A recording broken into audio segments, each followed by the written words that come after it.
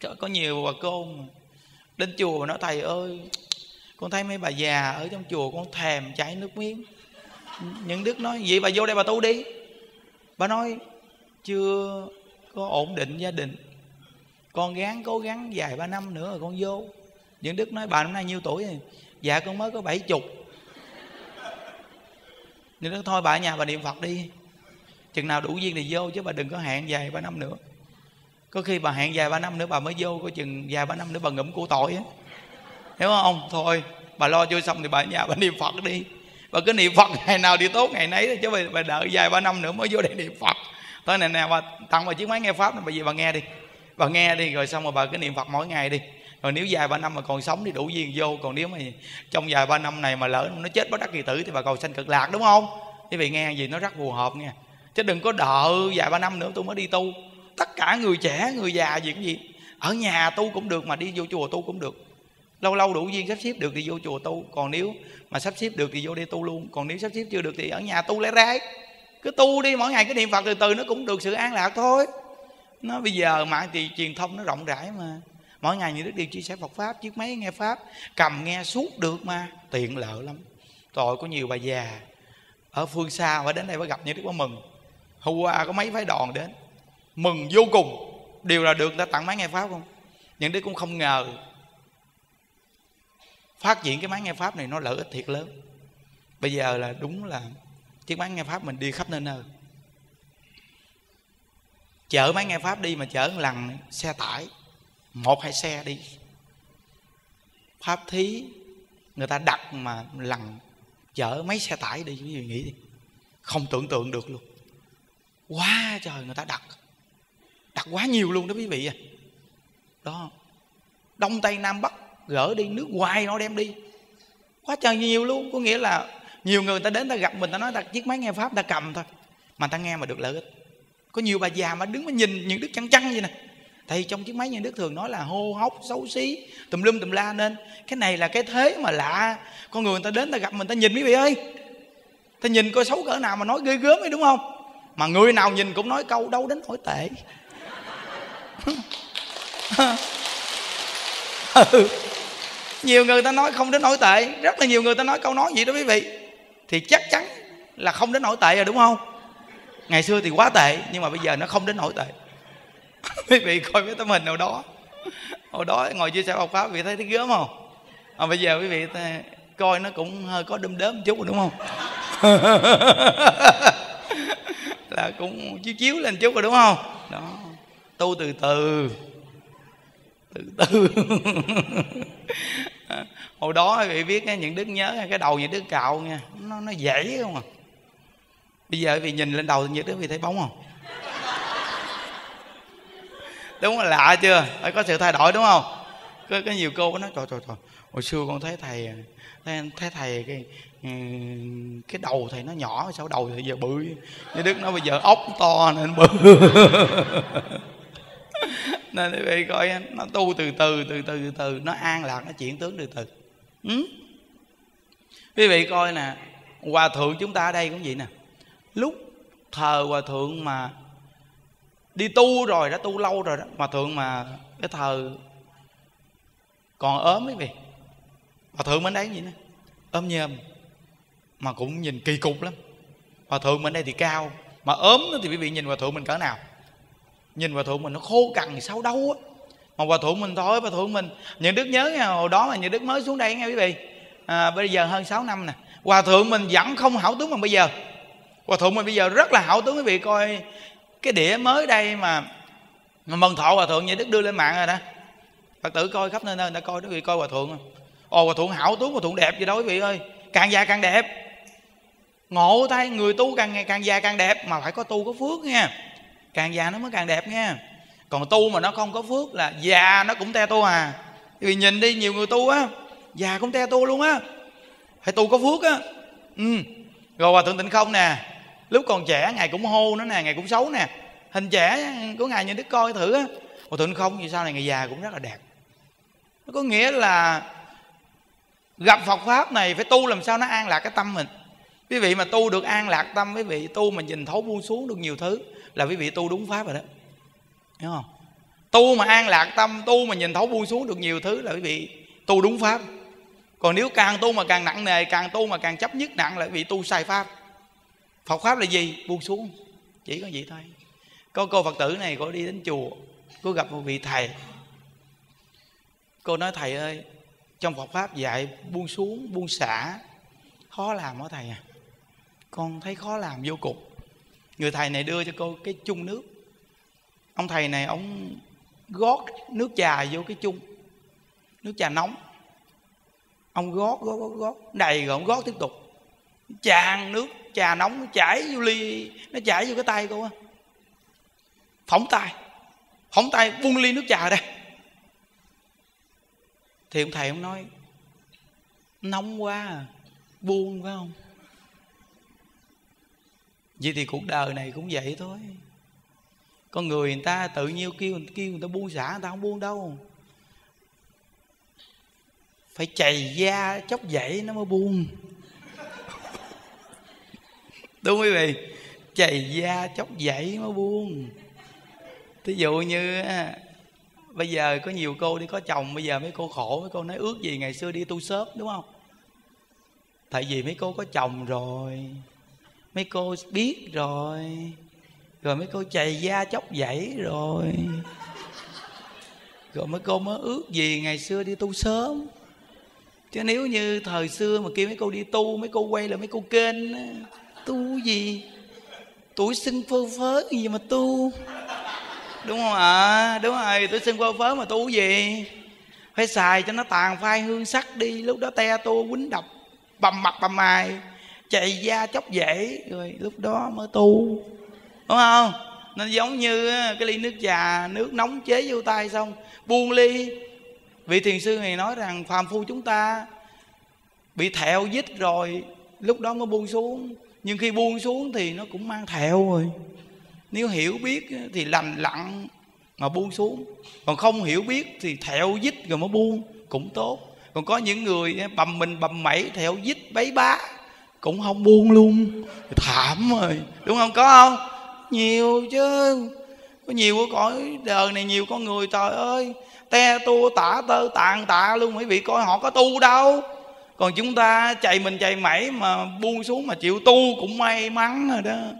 Còn người mà có thiện căn dày thì chưa gì hết. Người ta đã nhìn thấu. Đúng không? Đây là thiện căn dày nhưng mà thôi, phàm phu chúng ta phần nhiều phải chạy chùa. Thôi cố gắng chạy chùa nữa đi rồi buông xuống. Thật sự mà nói có gì đâu, nặng nề buông buông rồi thôi. Buông thì nhẹ, có buông thì nặng. Cứ cầm đi rồi nặng nặng rồi một ngày nào chúng ta mệt mỏi cũng phải buông thôi. Sớm muộn gì cũng phải buông thôi, đúng không? Từ khi chúng ta không học Phật, chúng ta không có tâm giải thoát thì không buông. Nhưng nếu chúng ta có tâm học Phật và có tâm giải thoát thì nhất định sẽ buông. Quý vị đi đến chùa này sớm muộn quý vị cũng buông. Đi chờ xem vì sao? Vì mỗi tuần nhắc như vậy mà. Ai mà dạy gì giác trên vai cho nó nặng, quý vị? Vì sao cái gì chúng ta cũng mang cái gánh nặng cho mình không à? Bây giờ tôi làm cha, làm mẹ mà không gánh nặng làm sao được? Gánh nổi không? Quý vị, làm cha mẹ là sanh người ta, nuôi người ta không lớn. Chứ quý vị đâu có đặt để cái cuộc đời của người ta được. Quý vị đặt để được không? Có nhiều người người ta có chức phận vô cùng, người ta đặt để cho con người ta người ta giới thiệu cho con người ta những công chuyện tốt, người ta sắp đặt cho con người ta một cái danh vọng cuộc đời. Nhưng cuối cùng, đứa con này nó không bao giờ chịu ngồi cái chỗ mà người cha mẹ đã sắp đặt. Chúng ta làm cha làm mẹ đều muốn con mình ngồi cái chỗ đẹp, chỗ tốt. Nhưng mà con mình nó không chịu ngồi chỗ đẹp, chỗ tốt. Nó bước lại cái chỗ hư hỏng, nó ngồi, đúng không? Cuộc đời con người, quý vị, được quyền sanh người ta và nuôi người ta không lớn. Chỉ là có chỉ dạy và dạy dỗ người ta thôi. Chứ quý vị không đặt để được người ta đâu quý vị. Vì sao? Vì mỗi một con người nó có phước và có duyên của họ khác nhau. Con người có phước quý vị để người ta vào đóng phân người ta lại đóng vàng. Con người không có phước quý vị để người ta lên đóng vàng, ngồi lên đóng phân không nói chứ, ha? Nó lạ như vậy đó. Nên phước dẫn dắt con người tốt hay xấu là từ phước mà ra. Thí dụ như người mà đã có phước rồi, quý vị muốn hại người ta, hại không được nữa. Người mà vô phước quý vị không cần hại, thì nghiệp quả nó cũng tự đến với người này à hiểu được nguyên lý này rồi. Tại sao con người chúng ta sống thường cứ mang gánh nặng cuộc đời? Đã sanh con, nuôi con cực khổ, có chồng, lo gia đình cực khổ. Tại sao chúng ta, cái gì chúng ta cũng mang gánh nặng cho mình? Vì sao cái gì mình cũng phải bận tâm, cái gì mình cũng phải lo? Tại vì quý vị không hiểu. Lo cũng lo không xong mà đi nặng nề. Buồn cũng buồn, không giải quyết được mà đi buồn làm chi? Đúng không? Tại sao chúng ta không sống những ngày tháng cho nó tự tại đi? Tự tại còn có cơ hội. Nhà gạo, hết rồi. Hết thì cũng hết. Chúng ta có nặng nề buồn, nó cũng hết gạo. Nhà nghèo nghèo, nó đã nghèo. Buồn, nó cũng nghèo. Xấu, mặc cảm, nó đã xấu rồi, mặc cảm làm chi? Hô, đã hô rồi. Bây giờ, mày không muốn nó cũng hô nữa. Súng răng nó đã súng răng rồi. Bây giờ không chịu cười mà cứ thì nó cũng súng răng à. Mà cái súng răng này nó đeo đẳng là mình khổ đau cung cực luôn. Trời có những người người ta mặc cảm gì cái gương mặt xấu xí hoặc là một cái vết thẹo gì, một cái lé hay là bị cái gì trong cái cơ thể của mình tự nhiên mình bị mặc cảm, đừng có dạy. Chúng ta đã bị một cái quả báo, một cái nghiệp như vậy rồi mà tại sao chúng ta còn phải chịu thêm những cái gánh nặng trong nội tâm mình thêm làm chi? Bây giờ học Phật lại cởi mở quá giải đi. Cởi mở ra. Thấy không? Rồi những đứa đã từng nói đây là một cái tâm trạng ngày xưa mà ngày xưa mà nó hô miệng rộng nó nó nó cảm thấy rằng nó nhột nhạt mình là miệng rộng mà hô bây giờ những đức càng tu rồi những đức dẹp luôn cái tâm miệng rộng mà hô luôn mày muốn hô bao nhiêu hô mày muốn rộng bao nhiêu rộng kệ cha mày luôn không quan trọng với mày nữa nè. Sống ở ngày vui. Rồi tại sao con người chúng ta cái gì mình cũng đem gánh nặng trên vai mình cho nó nặng nề chi trời? Con người bây giờ thi đậu mừng cười còn thi rớt thì khổ đau. Làm chi cái chuyện kỳ cục ấy chứ à, đối với chúng ta cái cõi đời này chúng ta đến ở đây nghe Phật pháp nó mới giải tỏa được tâm tư mình quý vị. Nghe Phật pháp nó mới giải tỏa được tâm tư nên chúng ta mỗi ngày được nghe Phật pháp đúng là phước lớn thiệt. Tại sao những đức mỗi ngày vui? Những đức không dạy gì đi mang gánh nặng trên vai mình chứ. À, những đức nói rằng tôi không dạy gì mang gánh nặng trên vai. Hai bên chùa hơn 600 người tôi không dạy gì tôi nặng nề với quý vị chi chứ. Tôi đem cái gì tôi hướng dẫn tôi đem kỹ tôi hướng dẫn hết rồi đó. Xong rồi mỗi người lo tu lo niệm phật mỗi người ai cũng có phước. Ngồi cùng với nhau ai cũng có phước thì tự nhiên có cuộc sống à. Làm gì tôi mang gánh nặng? Làm gì tôi phải bận tâm? 600 người này lỡ không có gạo nấu thì sao? Không có gạo nấu thì cùng chết đói. Làm gì mà sợ đúng không? Ai cũng vậy chứ tới đói rồi thì tức khắc phát huy năng lực à. Có khi đói nó cũng tốt. Vì sao? Đói nó biết lòng người. Không giàu sang quá chúng ta cái gì cũng nói ngon đúng không? Đói khát nghèo nàn rồi mới biết lòng người đến với nhau có thật lòng hay không? Đó, quý vị biết cuộc đời của người có khi giàu rồi đổi bạn sang đổi vợ. Khi quý vị biết rằng có khi nghèo nàn mà tình nghĩa, giàu sang mà có khi mất tình nghĩa đó quý vị. Chúng ta sống chúng ta đừng bao giờ, chúng ta bị thất vọng về con người. Thất vọng nhất là chúng ta là chúng ta lại bỏ mình nè. Lại bị những cái ngoại cảnh của cuộc đời là mình khổ đau. Đây là cái thiệt thòi lớn nhất của cuộc đời chúng ta. Ai mà sống dạy gì chúng ta lại bị ngoại cảnh là mình khổ đau? Dù là vợ chồng hay con cháu hay thăng bằng quyến thuộc, nhưng mà cái nội tâm an lạc là của mỗi một con người cá nhân riêng biệt. Chúng ta không nên bị cái sự việc của chính họ làm mình phải nặng nề khổ đau, đó mới là người trí. Người sống như vậy mới là người hiểu biết sống. Nên những đức từng nói câu á, người bỏ mình không chết, mình bỏ mình mới chết. Chết cái huệ mạng của mình mới là khổ đau, quý vị à mình bỏ mình là chết cái huệ mạng của mình. Nên chúng ta sống ở cõi đời này không bao giờ bị tuyệt vọng đừng bao giờ có bất cứ một sự việc gì mình tuyệt vọng cả. Người mà tuyệt vọng là người không còn hy vọng. Đúng không? Tuyệt vọng là không có hy vọng. Nói quầy vốn nó thì coi, tại sao chúng ta đi tuyệt vọng làm gì? Đúng là những đức học phật rồi mới thấy ra cái điểm này. Đúng ra nếu nói mà lo rồi nó lo khỏi cạo đầu luôn á. Mà không lo thì không cần lo gì hết quý vị biết rằng nghe ngủ nghe dễ, ăn dễ, sống khỏe. Quý vị nghĩ con người như vậy hạnh phúc không? Buổi sáng hai giờ mấy, ba giờ thức dậy chuẩn bị đi tu. Tu xong thờ sáng nói chuyện xong. Nói chuyện xong là lúc đó 5 giờ 15 phút. Đi về bên phòng một cái là lặt đặt, đi giặt hai bộ đồ. Giặt hai bộ đồ, thời gian làm sao mà 35 phút 40 phút và tắm cạo đầu luôn. Giặt hai bộ đồ, tắm rồi cạo luôn cái đầu. Khoảng 35 phút, rồi đặng tranh thủ đi qua bên nhà ăn. Ăn cơm với đại chúng cho nó nó nó cùng chúng quý vị. Nó ăn cơm xong rồi là 6 giờ 15 phút. 6 giờ 15 phút bắt đầu đi vòng vòng xung quanh chùa rồi. Ngồi nãy giờ bên kia niệm Phật, giờ đây qua chia sẻ Phật Pháp với quý vị? Là vừa thấy buổi sáng xong việc rồi đó. Buổi sáng có những đức là tu xong nói chuyện nửa tiếng, Xong ăn cơm với đại chúng, nói chuyện đại chúng gần nửa tiếng, Nói chuyện với đại chúng gần nửa tiếng, Xong trở về phòng giặt đồ. Giặt đồ xong bắt đầu là những đức công việc này công việc kia một chút, những đức qua Đại Tùng Lâm. Qua Đại Tùng Lâm xong cái đầu là ăn cơm ở Đại Tùng Lâm, ăn cơm xong chạy về đây, chạy về đây là lúc 11 giờ 15 11 giờ 15 bắt đầu là rửa mặt, rửa mày. Cái nằm nghỉ nằm nghỉ một chút rồi dỗ dắt. Bắt đầu là ngủ dắt thức dậy. Buổi trưa buổi trưa chia sẻ Phật pháp nửa tiếng. Chia sẻ Phật pháp nửa tiếng xong đi xuống lấy xe chạy qua Đại Tùng Lâm.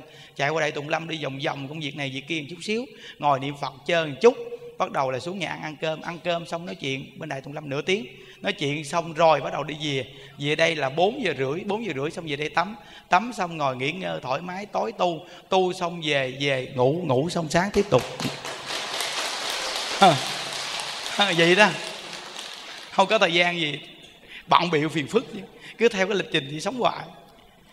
Tính thì tính ra vậy chứ thời gian thì rảnh cũng nhiều. Ừ. Thời gian nó rảnh nhiều. Rảnh rất là nhiều. Còn cái chuyện mà cơm ăn áo bạn thì sao? Sao không nghe thầy nói tới? Không có nghe nghe nói tới vụ này. Còn người ta ngoài đời là cái gì cũng cơm ăn áo bạn không à. Những đức ở đây sống quý vị biết. Tới tháng bên kia đưa cái phiếu qua. Thầy 60 triệu tiền điện. Rồi lấy tiền trả. Bên đây 20 triệu tiền điện. Lấy tiền trả. Bên kia 20 triệu. Tiếp tục.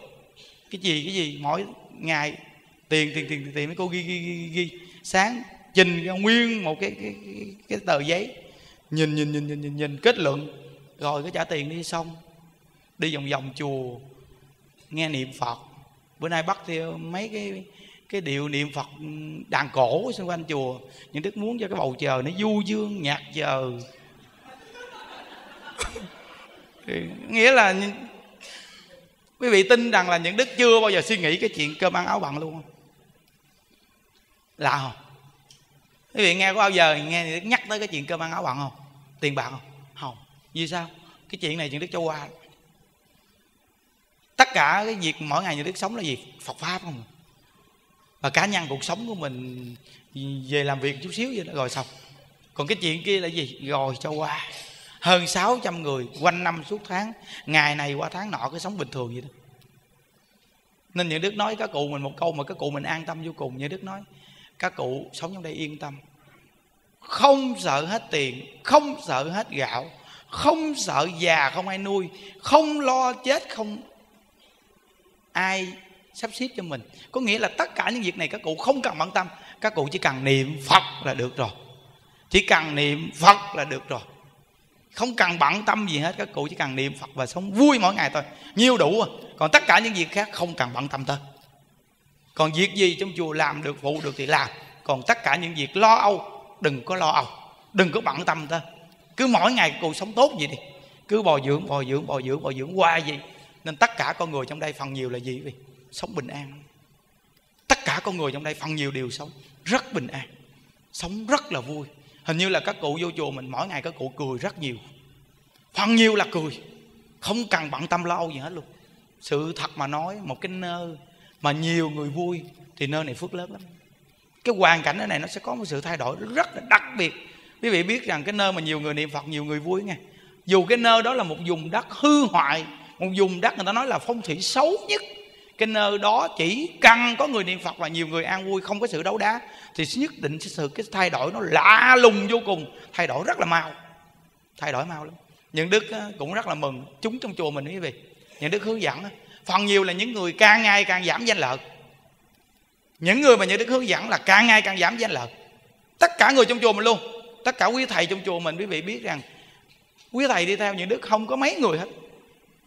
Quý vị biết rằng mỗi một ông thầy có thể coi được một đạo tràng. À. những đức chỉ cần ở phía sau, sắp xếp thôi là mỗi ông thầy coi được một đạo tràng. Trong khi không có thấy giỏi gì hết trơn quý vị thấy vậy đó. Nhưng họ đạt được một cái tiêu chuẩn gì quý vị biết không? Nhiều thầy chỉ đạt được một tiêu chuẩn này nè. Đối với danh lợi tiền bạc họ không nặng bao nhiêu thôi là làm việc cho chúng sanh được rồi đó quý vị. À, bao nhiêu thôi là họ làm việc cho chúng sanh được rồi đó. Thí dụ thí dụ như bây giờ thầy những ngôn đi đi coi. Thiệt thà hiền hậu. Cứ lên cái nói chuyện hịch hạt nói câu nói nào bị nhìn gương mặt là quý vị thấy thấy là tin tưởng rồi đúng không? Nhìn mặt là tin tưởng liền. Bây giờ quý vị con thầy những ao có giỏi không? Không. Nhưng quý vị nhìn tướng đi nhìn mặt thôi quý vị tin tưởng liền. Nhìn tướng đi có người nhìn mặt người là quý vị tin tưởng liền không nói chứ nó không có cái phù phiếm nhiều. Nên vì tin tưởng liền không nói chứ. Nên những đức nói họ chịu làm. Họ thiệt thà họ chịu làm. Quý vị sắp xếp làm sao họ sẽ làm vậy? Nên sự thành công của những đức là gì? Là người bên cạnh những đức những đức sắp làm sao họ làm vậy đó. À, nên những đức thành công. Chỉ đúng vậy thôi. Thí dụ như bây giờ đạo tràng niệm phật bên đại tùng lâm đi. Chỉ đúng một thầy. Coi bên đó gần 300 người. Những đức cứ mỗi ngày qua bệnh chút chút rồi đi về thôi. Tất cả việc với thầy đều bên sắp xếp hết luôn. Chuyện gì khó quá thì mới báo những đức biết. Thà làm được luôn quý vị. Xong bên đạo tràng bên kia tháng 10 phát triển là chỉ đúng một thầy qua bệnh nữa thôi và hai người cư sĩ. Là tiếp tục một đạo tràng nữa liền đó. Những đức tin chắc rằng là quý thầy làm được. Vì sao? Vì người bên cạnh những đức là người gì? Người đã được luyện rồi. Đối với tiền bạc không có đặt vấn đề còn người nào mà chưa đi ra khỏi những đức là người này chưa? Là điều thứ nhất. Điều thứ hai là người này là binh gì? Binh dự trữ. Uhm, nhà đức đưa đi một người làm việc gì đó. Lỡ người đó mà có gì thất bại nhà đức rút người đó về nhà đức đưa cái người tiếp nối theo. Chứ không có một lúc mà nhà đức đưa đưa đưa, đưa đi đông người. Đông người đi lỡ nó có nó rớt nó rớt hết trơn binh đâu mà mình đưa ra đó. quý vị biết rằng à, cứ vậy đó, vậy mà quạt quẹt mà thành công. Chỉ đúng con cái là cái gì biết không? Liền quý thầy đừng có danh lợi tiền bạc. Nên quý phật tử mà về chùa những đức giận nghe không? Cái gì mà những đức nói ra thì làm.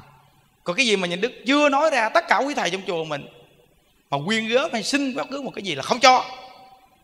Không có cho một cách gì hết trơn á nhớ chùa mình là những đức đây rộng rãi lắm á. Lo cho quý thầy đầy đủ lắm á. Không thiếu thốn một cái gì đâu. Người bên cạnh những đức mà nghe những đức vậy là do gì biết không? Những đức rộng rãi. Những đức lo rất là đầy đủ. Những đức tin chắc rằng những đức lo cho chúng là quá đầy đủ. Từ tinh thần cho đến vật chất quá đầy đủ. Mỗi một vị thầy, những đức mà sắp xếp một đầu tràng những đức lo lắng quá đầy đủ cho quý thầy. Quý thầy không còn gì phải suy nghĩ. Những đức nói với thầy một câu. Quý thầy cứ chân thật mà làm đi lúc nào quý thầy nói, con làm được, tôi làm được, những đức giao quý thầy làm, những đức không dành đâu. Còn nếu cần những đức hỗ trợ, những đức sẽ hỗ trợ hết mình, chỉ cần quý thầy nuôi người già thôi. Những đức không cần cái chỗ đó đâu.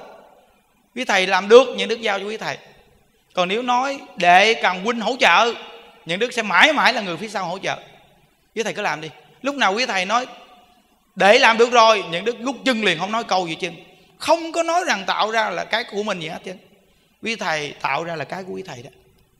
Những đức là người phía sau hỗ trợ hết mình, cần cái gì lo hết cho luôn. Tại vì sao? Vì quý thầy nuôi người già. Những đức có cái tâm nuôi người già. Quý thầy chỉ cần nuôi người già là được rồi. Những đức không cần những gì khác. Ai làm cũng được. Chỉ cần người này chịu nuôi người già, chịu lo cho chúng, là những đức sẽ họ hỗ trợ hết mình. Anh em, những đức nói rất rõ ràng nên tình anh em nó đặc biệt lắm quý vị không bao giờ nghi kỵ về danh lợi, thì tuyệt vô cùng. Vì quý thầy đâu có giữ tiền bạc gì đâu. Nên hàng phật tử mà đi về chùa, mà quý thầy nói chùa đang cặn này, cặn cái kia, cặn cái nọ. Quý vị cứ lánh mặt đi chỗ khác, không có đụng vô. Những đức tin một trăm phần trăm tất cả những việc gì trong chùa mình cần sử dụng. Một, nếu những đức không có, những đức sẽ nêu cho quý vị nghe. Còn nếu những đức không nêu là tất cả việc đó, những đức đều lo được hết hoàn toàn. Không cần quý vị phải bận tâm đến chỉ cần về đây lo niệm phật là được rồi. Lễ lọc xong hết rồi đó. Chiều nay chỉ cần hợp nữa là xong. Tượng phật hay bất cứ chương trình gì xong hết rồi đó. Quý vị không cần phải bận tâm lên chỉ cần chịu về đây lại một ngàn lại cho tôi. Cảm ơn. Được rồi. Nói không, về đây lại phật, quý vị lại bồ tát, lại phật á. Quý vị phát ra một cái tâm từ bi như bồ tát quán thế âm là được rồi nó để cho quý thầy mình tu hành, chứ đừng bao giờ mà mà nói mà có tiền, bây giờ con muốn tu phước. Tu phước nó phải có trí tuệ. Đụng đâu cũng tu tầm bậy, tầm bạ nó mang quả cho chính mình. Không giúp được người ta mà còn hại người ta nữa. Ở trong chùa này, những đức điều tiết cái gì kỹ lắm. Làm cái gì là tính kỹ. Những đức nhìn sơ qua cần làm cái gì là những đức làm. Nó không có cần cái kiểu mà mà nói mà gọi là những đức kỵ như thế này anh em mà sống với những đức mà cái gì nhỏ nhỏ mà làm mà tự ý làm hoặc là kêu gọi phật tử ờ, mua cái này mua cái kia cho họ là những đức có chịu đâu nghe. Không có thích phật tử gì luôn á. Phật tử gì những đức cũng không thích nữa. Đó là mầm móng của cái quả hại, hư hoại đoàn thể. Đoàn thể là nó phải quy về một người thôi. Nó quy về một người thôi. Từ xưa về những đức đến bên cạnh hòa thượng những đức chưa bao giờ làm cho hòa thượng bận tâm về cái cái cái cuộc sống. Hòa thượng rất là yên tâm về bên mãn những đức nên hòa thượng nói một câu á ừ, bây giờ ờ, ổng lo hết trơn rồi, tôi tôi không có bận tâm, tôi lo cái chuyện của tôi. Thấy không? Những đức lo tất cả những việc nhân sự hết trơn hai bên đội trạng rồi. Nó từ đó đó tất cả anh em là chỉ cùng chung tay những đức thôi. Hà phật tử là về đây tu thôi. Còn cái gì muốn cúng dường bảo tùng tam bảo, không có dính một vị thầy nào hết trơn á. Vì mà làm đúng vậy đi là quý vị tu tuyệt luôn á. Những đức nói quý vị biết rằng đừng có nói rằng là tu phước ngon nó không có phước mà nó có quả cho quý vị đó. Có những người người ta miền ngoài đâu quý quý thầy lắm. Nhà người ta giàu, người ta xây bao nhiêu cái phòng phòng phòng viết ngon lành không? Quý thầy đi đến là có chỗ ở ngon lành. Hoặc ra tới sân bay ờ, rước với thầy này kia.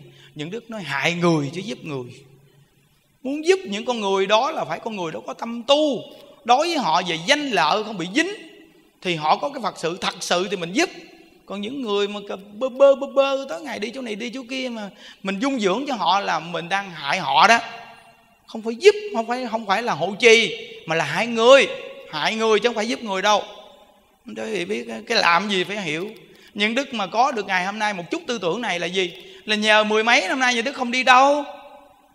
Những đức không bao giờ thân thiết với bất cứ một phật tử nào. Nhưng phật tử nào những đức cũng cảm thấy mình thương người ta chân thật từ nội tâm mình chứ thật sự mà nói, những đức mà thấy phật tử mà vui, những đức cũng mừng giùm quý vị. Những đức không có nói chuyện với quý vị nhiều, nhưng mà trong lòng những đức rất là muốn quý vị học phật, quý vị được an vui, gia đình được hạnh phúc. Cái này là nói thật lòng á.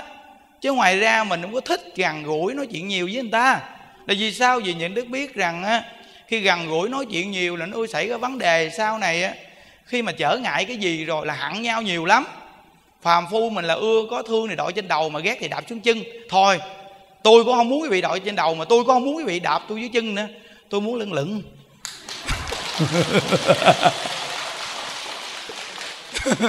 Nên từ nơi đó thôi thôi tôi, tôi không có thằng thiết với ai nhiều quá đáng. Nhất là phái nữ. Phái nữ là tôi không thằng nhiều quá. Cái này là tôi tiêu chuẩn sống của tôi tôi không thằng với phái nữ nhiều quá. Nó, có chuyện gì ờ, trong nội tâm mà không cởi mở được thì gặp nhau chia sẻ vài câu thôi đúng không? Nói rồi thì thì thì thì nghe rồi thì thì tu đi.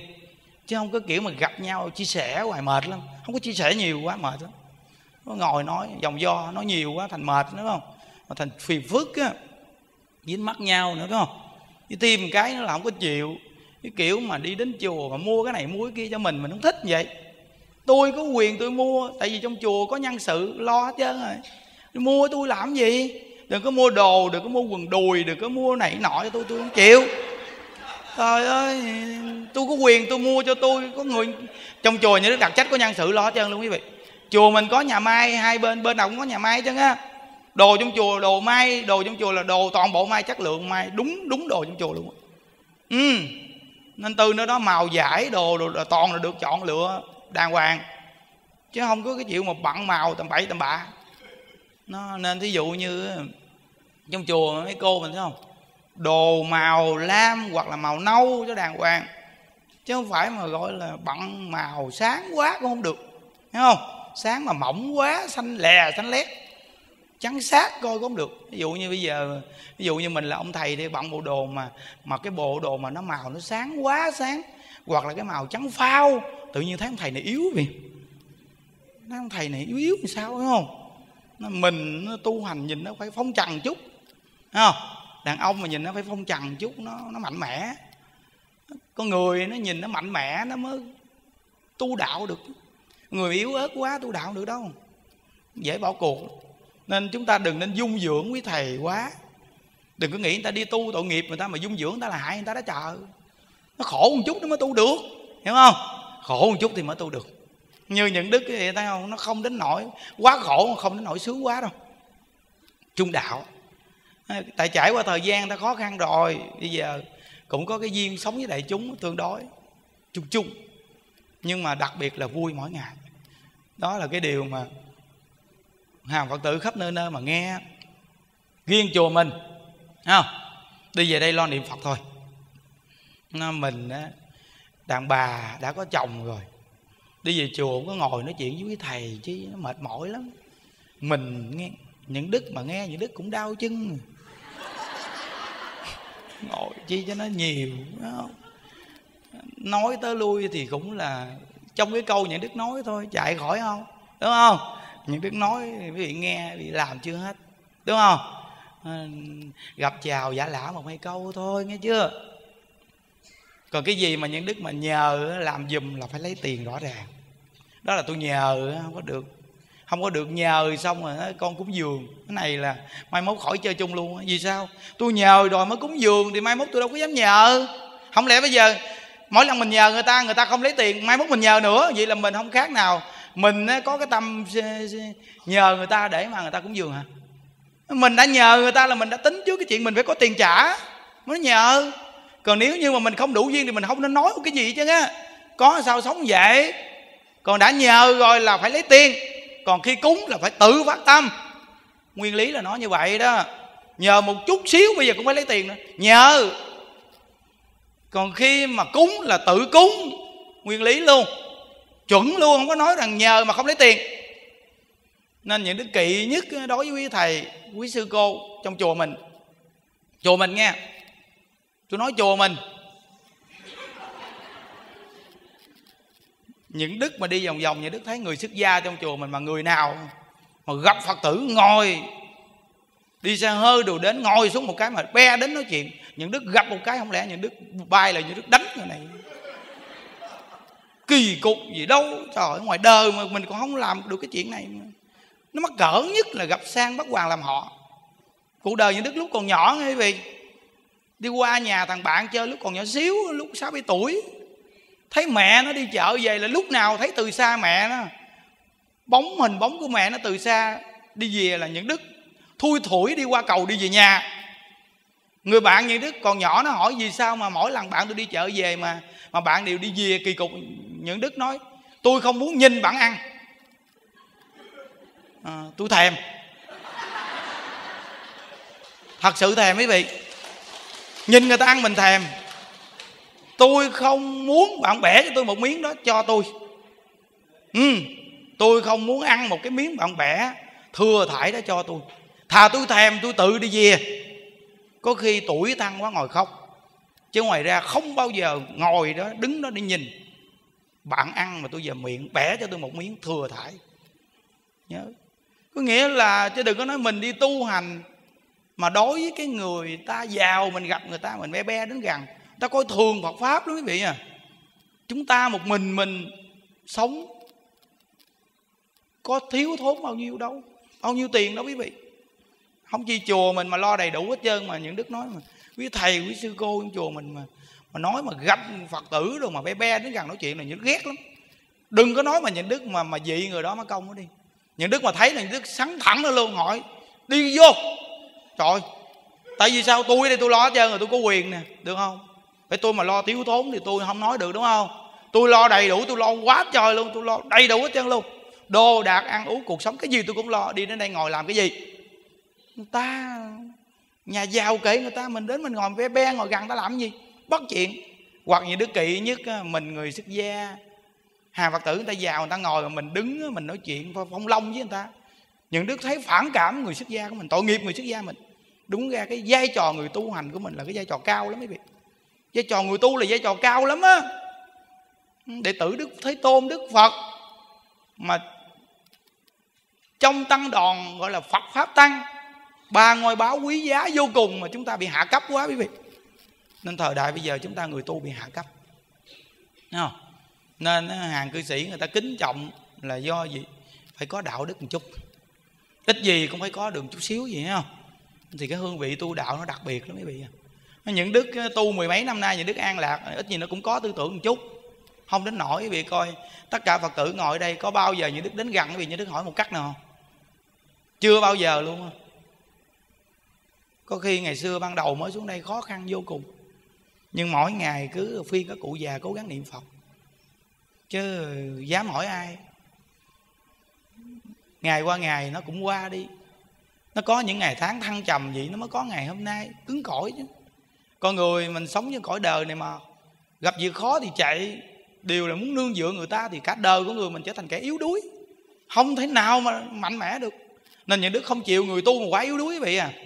Nên những đức là ông thầy chùa tôi nói cũng gan. Người ta nói đi tu mình là người xuất gia, gặp nữ không dám nhìn, những đức nói, tôi nhìn lòi con mắt luôn, cũng nhìn. Chạy ai chứ? Nhìn cái gì tôi nhìn cái đấy đó, được không? Tu là tu, nhìn là nhìn à. Tôi chạy ai chứ? á tôi, tôi thà tôi nhìn con mắt tôi nhìn xong rồi tôi tôi, tôi buông ra. Còn hơn là ông nhìn bằng cái tâm không? Mệt quá đi. Giống như cái câu chuyện của ngày hư văn nghĩa là ngày hư văn đi ờ, chiều bái á, bắt đầu đi đến một con sông. Lúc đó có mấy huynh đệ đi lại theo. Xong cái ờ, tự nhiên cô gái đẹp đâu xuất hiện. Không dám qua sông. Thì nhờ ba ông thầy mà đi theo ngày hư văn á con muốn qua sông mà nước chảy mạnh quá, con sợ quá. Thầy có thể cổng con qua bên sông được không? Ba ông thầy kia nói không được không được. Người tu hành, tứ đại giai không mô phật xin thí chủ đừng làm thầy động tâm. Thầy cứ thí chủ đừng làm thầy động tâm. Là sao cái cái cô đó cô đến cô gặp ngài hư văn. Ngài hư văn ấy vậy là bậc cao tăng. Ngài hư văn thời đó còn trẻ. Thì bắt đầu là cô cũng nói rằng nước sông chảy mạnh quá, con muốn qua sông mà con con không dám qua. Thầy có thể cổng qua sông được không? Ngài hư văn nói, được. Lên vai cổng qua nha. Khi ngài hư văn ngày cổng qua thì ba ông thầy đi phía sau cứ là, cứ nghinh bật cái trách lưỡi. Trời ơi, tu hành mà cổng con gái đẹp kỳ cục ghê. Vậy mà tu hành cái gì? Xong cái qua tới xong rồi cái ngày hư văn ngày để cô gái xuống cô gái cô bỏ đi. Ngày hư văn tiếp tục lại nữa. Còn ba ông thầy thì phía sau cứ nghiến răng hoài. À, không được không được. Phải đến hỏi hư văn này mới được. Tại sao người tu hành mà dám cổng cô gái đẹp như vậy? Phải hỏi mới được. Cái lợi cái chặn đầu ngày hư văn hỏi vì sao ngày tu mà ngày cổng cô gái đẹp? Cái ngày hư văn ngày nói cổ đẹp ở đâu? Nó còn nói nữa hả? Đã cổng rồi mà còn nói cái gì? Thế xong ngày hư văn ngày nói tôi cổng cô gái đó qua sông là giúp cô. Nhưng xong rồi cô đã đi rồi vì sao quý thầy cổng lên vai làm chi hả? Người ta cổng mà không có sao. Còn mấy ông không cổng mà có sao.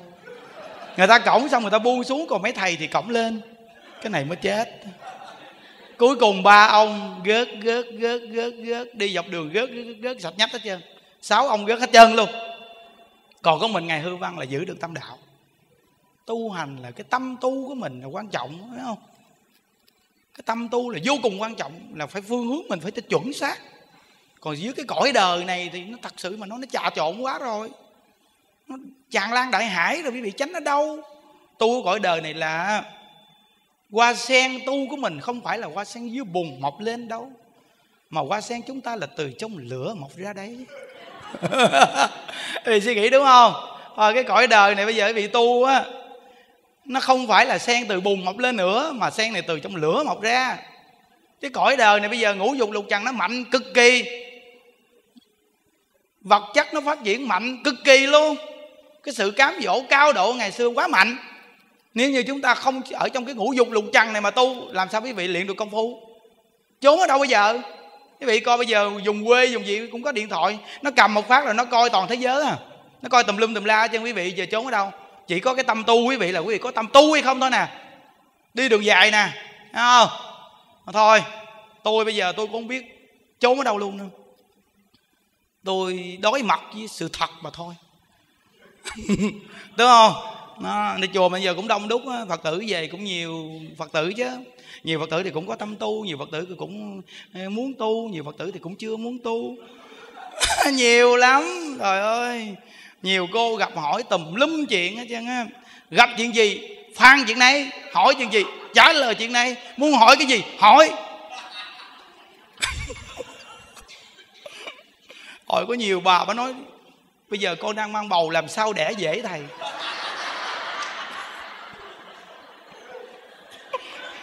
Những đức nói tới ngày đẻ bà sẽ biết. Nghĩa là muốn sao vậy? Đáp gì? Bây giờ đẻ bà cũng hỏi là như đức nói tới ngày đẻ bà sẽ biết. Cố gắng mà gần đi sẽ đẻ được mà thôi. Thấy chưa?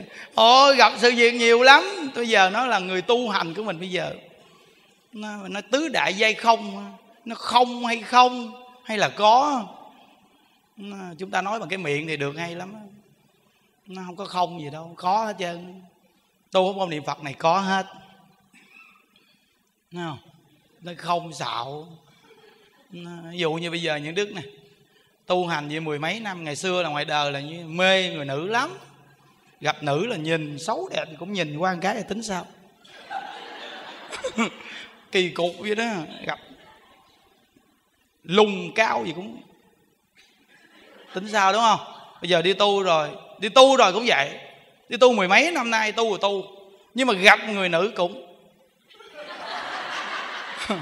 Kệ mày chứ sao giờ? Đúng không? Ngày xưa thì mình nhìn mình mơ mình mộng mình ước mình ao. Mình khao mình khát.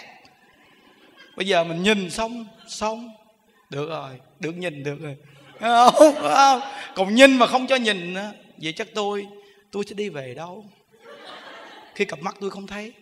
Đúng không? Vậy vậy coi á dù là cặp mắt nó có mù đi chăng nữa nhưng mà tâm nó cũng hướng à. Chứ không có đơn giản đâu cái đây là cái cái cái túc nghiệp mỗi con người chúng ta.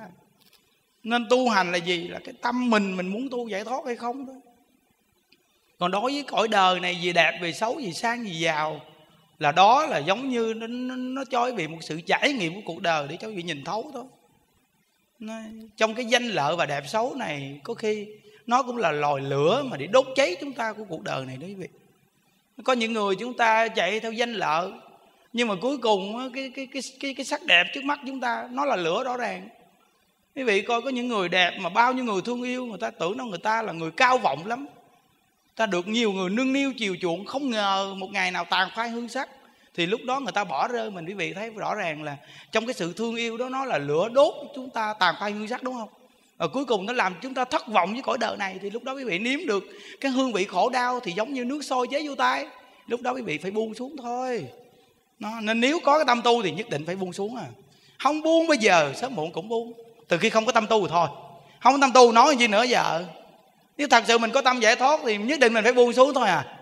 Cầm cái gì cũng phải buông xuống hết trơn á vậy thì quý vị tự tại không? Cầm cũng tự tại, mà buông cũng tự tại, có cũng tự tại, mà không cũng tự tại luôn. Vì sao? Vì tôi biết không có cái gì tôi cầm được hết. Nguyên lý này quý vị nắm được nè. Người tu không tịnh độ là gì? Một câu phật hiệu này niệm, chân thật mà niệm, còn dưới cõi đời này, trong hoàn cảnh sao thì sống được trong hoàn cảnh đó, mà vô cùng an lạc, vui vẻ. Không? này không phải nói xạo đâu nghe nó thật á ừ. sống trong cái, cái ngôi chùa đông gì thì biết những đức nói thật á. Những đức đã gặp hết. Trạng nào cũng gặp hết chứ. Đều lướt sống qua hết luôn không có chạy ai chứ. Từ nơi đó những đức sống rất là vui có gì đâu. Nếu mà nói về ngày xưa những đức bây giờ vui quá trời luôn. Vui mà tự tại nữa chứ. Nó quý vị coi những đức đi tu phần nhiều cái gì những đức cũng có nhưng đầy đủ hết trơn. Nhưng mà những đức cho lên một bài toán đáp số với cuộc đời mình không có gì đâu mày đừng có nặng nề vào nó làm chi. Không? vậy thì được rồi đó. Chứ không phải đá đổ nghe, không phải đá đổ nè. Thí dụ như vị ngồi đây có những người vị học phật rồi. Bây giờ nói con buông xả nhà con giàu con xả tầm bậy. Giàu thì thấy cái chỗ nào tốt được thì làm được thì làm. Tốt. Còn không làm được thì thôi. Còn không phải đá đổ nó. Nhưng mà ngày xưa mình nặng vào cái chuyện danh lợi này quá nhưng bây giờ mình học phật rồi, đối với danh lợi này thì không nặng nữa. Thì được, đúng rồi đó. Vậy là thôi, chứ không có gì mà đá đổ nó chứ. Á nó còn bất cứ lúc nào mình ra đi thì mình phải ra đi thôi, đúng không? Nó nhẹ nhàng vậy đó. Với cuộc đời sống vậy thì quý vị quá tự tại. Những đứa có được niềm vui này là do như vậy mà ra. Nên có một đoạn nè, rất là hay nè. Để được vãng sanh, sang cõi cực lạc, thì dù diệu hạnh gì chăng nữa cũng không hơn niệm phật. Vì sao thế? Vì niệm phật là hạnh của di đà bổ nguyện vậy. Nếu nói về niệm phật cầu sanh cực lạc thì không có hạnh nào bằng niệm phật. Vì niệm phật là bổ nguyện của di đà tiếp dẫn chúng sanh. Quý vị nhớ nè, quý vị niệm a di đà phật là bổ nguyện của di đà, đức phật a di đà. Cái sự tu của ngài quý vị mười phương chư phật không so sánh bằng. Thí dụ như mười phương chư phật, mỗi một vị phật tu ba đại a tăng kỳ kiếp, phật a di đà tu vượt qua luôn ba đại a tăng kỳ kiếp. Vượt qua luôn ba đại a tăng kỳ kiếp. Ngài tu thành phật rồi, ngài không thành phật, ngài tiếp tục phát nguyện và tiếp tục tu. Và mỗi một danh hiệu phật, ngài lấy tinh hoa, ngài tu tiếp tục, tu tu tu, thành tựu hết tất cả những cái nguyện của chư phật và phát ra cái nguyện thế giới cực lạc. Quý vị nghĩ đức phật a di đà tu cỡ nào? Thí dụ như giờ một vị phật ngoài phật a di đà Ngài tu thành Phật rồi thì Ngài đem nguyên cái phương pháp mà Ngài tu của ba đại A Tăng kỳ kiếp Ngài đưa cho quý vị, quý vị phải tu theo giống như vậy. Ba đại A Tăng kỳ kiếp quý vị thành Phật. Tu đạt tiêu chuẩn thành Phật. Còn Đức Phật A Di Đà Ngài tu hoàn toàn thành tựu Ngài phát nguyện thôi. Rồi Ngài thấy lấy danh hiệu A Di Đà Phật Ngài chỉ chúng sanh niệm ta ta tiếp dẫn. Giống như Ngài xây lên một cung thành đẹp vô cùng. Ngài nói chỉ cần gọi ta ta đến rước gì?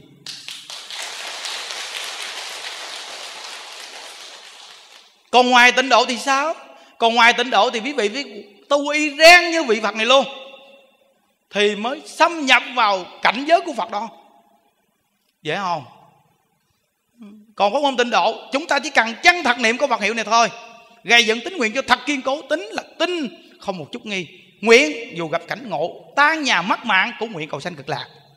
Chỉ như vậy thôi, đó là tin tưởng ngài. Ngài đến tiếp dẫn. Trời ơi, cái này rèn luyện không đơn giản đâu quý vị ơi. Ừ. nên có môn tịnh độ này nó rất là dễ, cũng vì quá dễ mà ta không tin nè. Cũng vì quá dễ mà mình nghi nè quý vị à. Cũng vì quá dễ mà nghi. Nó quá dễ rồi. Nên nghi nó chứ không gì chứ á rất là nhiều người bỏ cuộc là vì nó quá dễ nên không dám tin rằng dễ như vậy mà thành tựu lớn như vậy. Đừng có nói là phàm phu chúng ta nghi. Bậc a la hán cũng nghi. Đừng nói là bậc a la hán nghi. Bồ tát chưa đạt đến cảnh giới cũng nghi tịnh độ luôn. Vì sao? Vì các ngài tu quá cực mà được có chút xíu.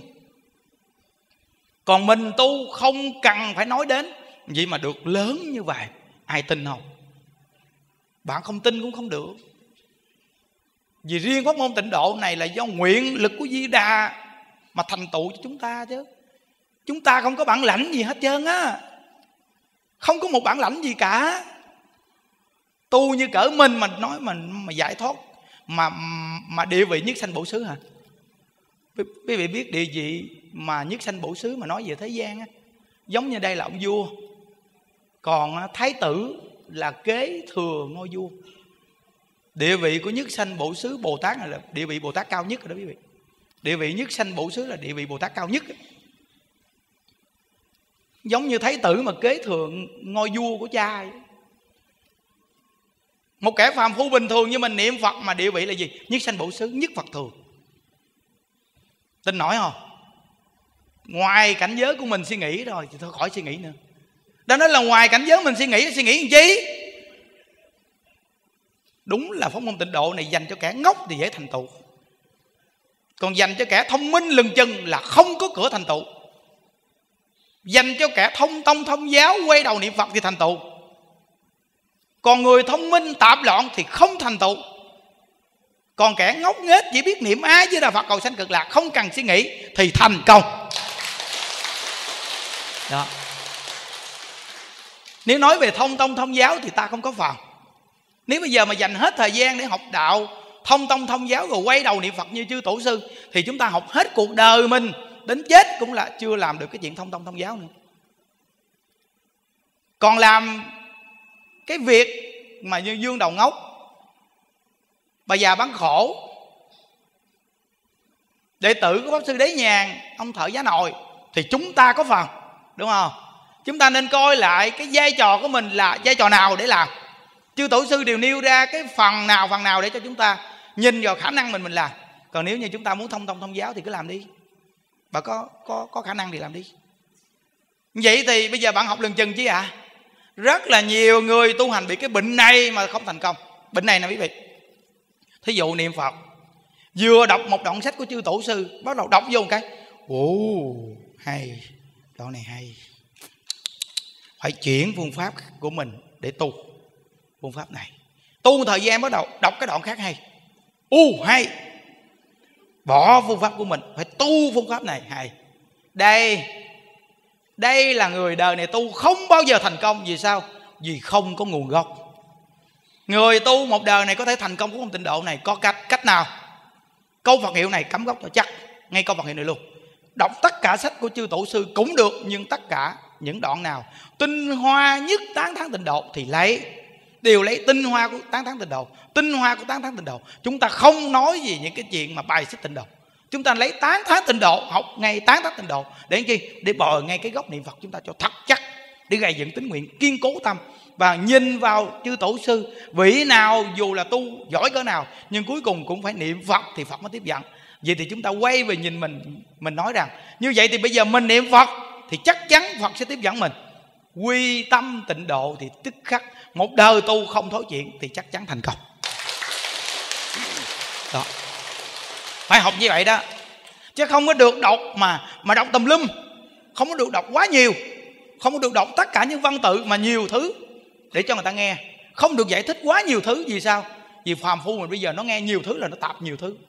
Quý vị càng phân tích thì càng tạp. Nên những đức quy tâm niệm phật thôi. Niệm phật đi, niệm phật đi có những người nói như thế nào tiêu nghiệp niệm phật, như thế nào sống lâu niệm phật, như thế nào được đẹp niệm phật, như thế nào thành tựu niệm phật, như thế nào giảng sanh niệm phật, như thế nào thông minh niệm phật, tôi nói niệm phật không được không? Có một cái cô kia cổ quen như đức ngày xưa có nói một câu, ông thầy những đức bây giờ nhiễm ai với đạo phật rồi. Cái gì cũng nói niệm phật hết, nhiễm, ô rồi. Những đức nói nhiễm ai với đạo phật mà ô, cô ô thì có. Nhiễm ai với đạo phật mà ô mà à, càng nhiễm ai với đạo phật thì càng thông minh hết chứ ô gì cô tạp cô mới ô xanh sao vàng giọt luôn. Trời ơi quý vị coi phải những đức càng tu những đức càng mập không? Làm gì mà ô nhiễm ô nhiễm mà mập mạp khỏe mạnh vui hả? Thì coi bây giờ quý phật tử về chùa quý vị coi để biết những đức hơn 6 năm nay quý vị coi những đức phải càng sống càng tốt không? Càng sống càng vui quý vị coi công nhận không? Nếu như quý vị biết những đức hơn 6 năm nay quý vị thấy những đức càng sống càng khổ càng sống mà càng mạt riệp từ đường thì quý vị thôi thôi thôi tôi không dám học theo. Bèo nhèo quá đúng không? Cái này càng sống càng vui càng sống càng tốt vậy được rồi. Nên mới nói rằng là niệm phật hiện đời an vui đúng không? Hiện đời giải thoát. Đó. Ví dụ như quý thầy quý sư cô đến đây đi mỗi từng cái nghe gì gì gì nè. Vậy đó mà nó ảnh hưởng nó thấm á. Ừ, giỡn đó trời mưa lâu thấm đất á. Tại vì ít gì người ta cũng suy nghĩ ông thầy bé bỏng này mới tu thôi. Đúng không? Mà nó làm một số việc vậy mình nên suy nghĩ lại cái phương pháp tu chứ. Đúng không? Trời ơi, nó có cái sự suy nghĩ mình phải có cái sự đắn đo suy nghĩ đi. Còn mình bây giờ mình tu có khi lâu mà sao mình thấy mình cực quá mình thấy mình không có được cái gì. Mà sao này nói đơn giản mà sao ta nghe kỳ cục cái chợ? Ví dụ như bây giờ nhiều tối lại bồ tát quán thế âm nít á nói gì đâu? Đức lên có nói gì đâu mà ngộ nít nó ngồi nghe. Như đức nói, lại bồ tát quán thế âm, cầu an cho cha mẹ, cầu siêu cho cha mẹ. Bữa nay đến đây phải lại bồ tát quán thế âm.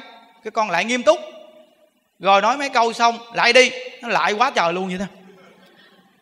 Nó lại quá trời lại luôn, nó nghiêm túc, nó lại, nó không có dám cái gì chứ quý vị. Không biết làm sao vậy nó không có nói cái gì hay ho gì chứ á, mà nó nghe là cái gì vậy thương yêu. Thương yêu, vậy thôi. Quý vị thương yêu người ta người ta thương yêu quý vị. Quý vị đã thương yêu người ta thì người ta sẽ nghe lời quý vị thôi. Công nhận không? Bây giờ quý vị chân thật quý vị thương yêu người ta đi, người ta sẽ, người ta sẽ thương yêu quý vị, không nói vậy nữa. Còn mình ghét người ta người ta ghét mình à mình keo kiệt với người ta thì người ta keo kiệt với mình à không? Nó nên từ nó học Phật là học cái gì? Những cái gì mình không muốn thì đừng đem cho người khác. Những cái gì mình không muốn tới mình, dẹp nó đi đừng có đem đưa cho người khác nữa. Nó vậy thì nó rất là đặc biệt. Có một cái chú này cách nay hơn 6 năm về trước quý vị ông vô chùa ông làm công quả mà ông giỏi cực kỳ hồi xưa nhà đức mới xuống đây mua được hai chiếc xe Honda 50 chiếc 11 triệu 500 ngàn hai chiếc. Để chùa chạy tới tới tới, tới lui lui ổng thì nhà trên thành phố. Lên chùa làm công quả ông giỏi quá trời luôn. Ổng cũng năm mấy tuổi nhìn ổng đàn ông nghiêm túc. Đưa ông chiếc xe. Trong chiếc xe là có giấy xe luôn. Tại quy tắc của những đức là gì? Xe nào, giấy đó, để làm chi? Lỡ có mắt thì người ta lấy được chọn gói, bán có tiền nhiều hơn. Suy nghĩ kỹ đi vị. Bây giờ nó mắc chiếc xe rồi là giữ giấy làm gì cho nó mệt thôi. Mày cực quá mới lấy được chiếc xe thôi, có giấy luôn, bán cho có nhiều tiền. Ăn trộm xứng đáng một chút, đúng không quý vị? Trả nợ người ta trả cho nó mau xong. Bây giờ mình nói giờ, cái xe để đây giấy mình cắt trong túi mình. Lỡ nó lấy chiếc xe rồi, nó đâu có dám đến lấy giấy. Không? Có làng lần chùa mình mắc chiếc xe cái lần đó không biết sao mấy cô giữ giấy thì sao, riêng biệt. Nó lấy chiếc xe không à? Có một lần những đức ờ, tu những đức thông báo á, anh ăn trộm nào lấy xe, lỡ lấy giấy. Nói thật luôn á, đưa giấy thiệt á, không có giỡn đâu. Giữ giấy gì bây giờ trời? Bây giờ nó lấy chiếc xe cũng cực, thấy mồ luôn, nó suy nghĩ đắn đo. Sợ ăn trộm ờ, sợ người ta bắt đồ này kia, đúng không quý vị? Bây giờ lấy được chiếc xe không à? Bán bao nhiêu tiền bây giờ mở xe đồ ra, bán đồ phụ tùng, đồ chạy chờ, đồ chơi, không được nhiêu tiền, xe uổng quá. Thôi, có tấm giấy, tao cầm tấm giấy, tao cũng không chạy được. Thôi, chắc tôi thiếu nợ anh. Đưa giấy luôn ra, bán đi. Nó thật lòng luôn lỡ mắt rồi, mắt luôn. Giữ giấy làm chi? Đúng không? Nó mắc heo, ai giữ dây heo? Thấy không? Nó, nên tư đó đã mắc con heo rồi đưa mày sợi dây cho mày buộc con heo kéo đi luôn. Tiện lợi nói quý vị. Đây là nói thật lòng á nên xe đâu giấy đó mắc chiếc xe là mắc chọn gói luôn. Tôi muốn trả nợ cuộc đời này trả là trả cho xong. Không có trả dầu do gì chứ trả cho xong luôn. Đây là nói rất thật cho quý vị biết á. Ừ. nên từ nơi đó cái chú ông cầm cái xe 50 mà để giấy xe cho ông luôn đi ông nói thầy thầy cho con xin ờ, về nhà thăm nhà mấy ngày xong xuống. Vậy đó ờ chú chạy xe đi luôn đi. Ông chạy là mất tiêu luôn. Tới bây giờ không thấy ông. Hơn 6 năm. Hồi xưa mới xuống đây, mua được hai xe 50 như đức nói, thờ này, thời điểm khổ mà. Lấy xe mà lấy lấy lúc này. Đợi mai mốt giàu đi rồi lấy. Nói, thôi thôi, lấy rồi, thôi, đúng không? Để biết rằng hôm qua, con của ông lên nó nói, ba con chết. Ừ. trước khi ông chết, ông nói, ông có lỗi với thầy. Thờ thầy khó khăn mà ông lấy xe của thầy. Thì những đức cũng quên mất tiêu. Những đức hỏi, ông đó là ông nào? Đưa hình thì những đức thấy, biết ổng. Xong, những đức nói, thôi, chuyện đó những đức quên mất tiêu rồi rồi cô lên đây làm gì? Nói ba con kêu đem xe trả lại cho thầy. Coi đúng là cổ thiên trả địa của mình thì sẽ là của mình thôi đúng không quý vị? À, của mình thì cổ là của mình thôi nó phải đi về mình thôi đúng không? Nó giờ mình có từ chối nó nó cũng phải quay về mình thôi đúng không? À, nên tất cả các ông các bà có vợ có chồng với nhau mà lỡ vợ mình nó bỏ mình thì kệ nó. Mình cũng nói thật lòng rồi. Mình cũng nói ra lý do, do là bây giờ vợ chồng có con cái mà em bỏ anh gì thì con mình sẽ khổ nó sẽ xa mẹ. Thiếu tình mẹ nó tội nghiệp nó lắm em. Nhưng con con con đàn bà này nó quyết định bỏ mình rồi đúng không? Thì nó, nó cái gì nó cũng nói được. Thôi anh đừng nói nữa. Tôi không còn tình cảm với anh đâu. Anh hãy buông tha tôi đi trời trời, hồi xưa em chịu anh mà giờ buông tha gì mà buông tha hồi xưa em chịu anh, bây giờ sống với nhau, có con cái mà bây giờ chúng ta cùng nuôi con với buông tha gì? Phải chi mà chưa có con cái gì trơn thì cái, nếu không thương nhau nữa thì thôi, nhưng bây giờ có con cái à, buông tha gì buông tha nó thôi thôi, anh đừng có nói vòng do nó tôi quyết định bỏ anh rồi. Vậy giờ em quyết định rồi phải không? Quyết định. Vì quyết định thì thôi. Tôi phải nuôi con tôi thôi. Em có đi đi đi kệ em. Không? em nhớ. Em là đàn bà vậy con không được đâu. Đúng không? Sau này em sẽ gặp thằng khác nó sẽ quýnh em theo tôi. Tôi thương bao nhiêu thì nó sẽ quýnh em bao nhiêu em nhớ lời tôi nói đó. Nhưng mà tôi cũng xin chúc em hạnh phúc. Em hãy đi đi. Thấy chưa? À, nói một câu đơn giản thôi quý vị không? Do thời gian bị quýnh đe tua đúng không? Mình là người đàn ông tâm lượng cũng lớn quý vị. À, bị đánh đi một vòng bị đánh quá trời đánh. Con vợ quay về nói anh em đã thấm thiết rồi em bị thằng này đánh té tua chứ. Anh cho em cơ hội đi. Mình nhìn đứa con mình. Thấy không? Nhìn đứa con. Thôi, cho em cơ hội đó mấy ông làm được mấy không? Khó không? Khó. Thì nó cũng là nó thôi. Cũng như chiếc xe hơn 6 năm quay về cũng là chiếc xe thôi.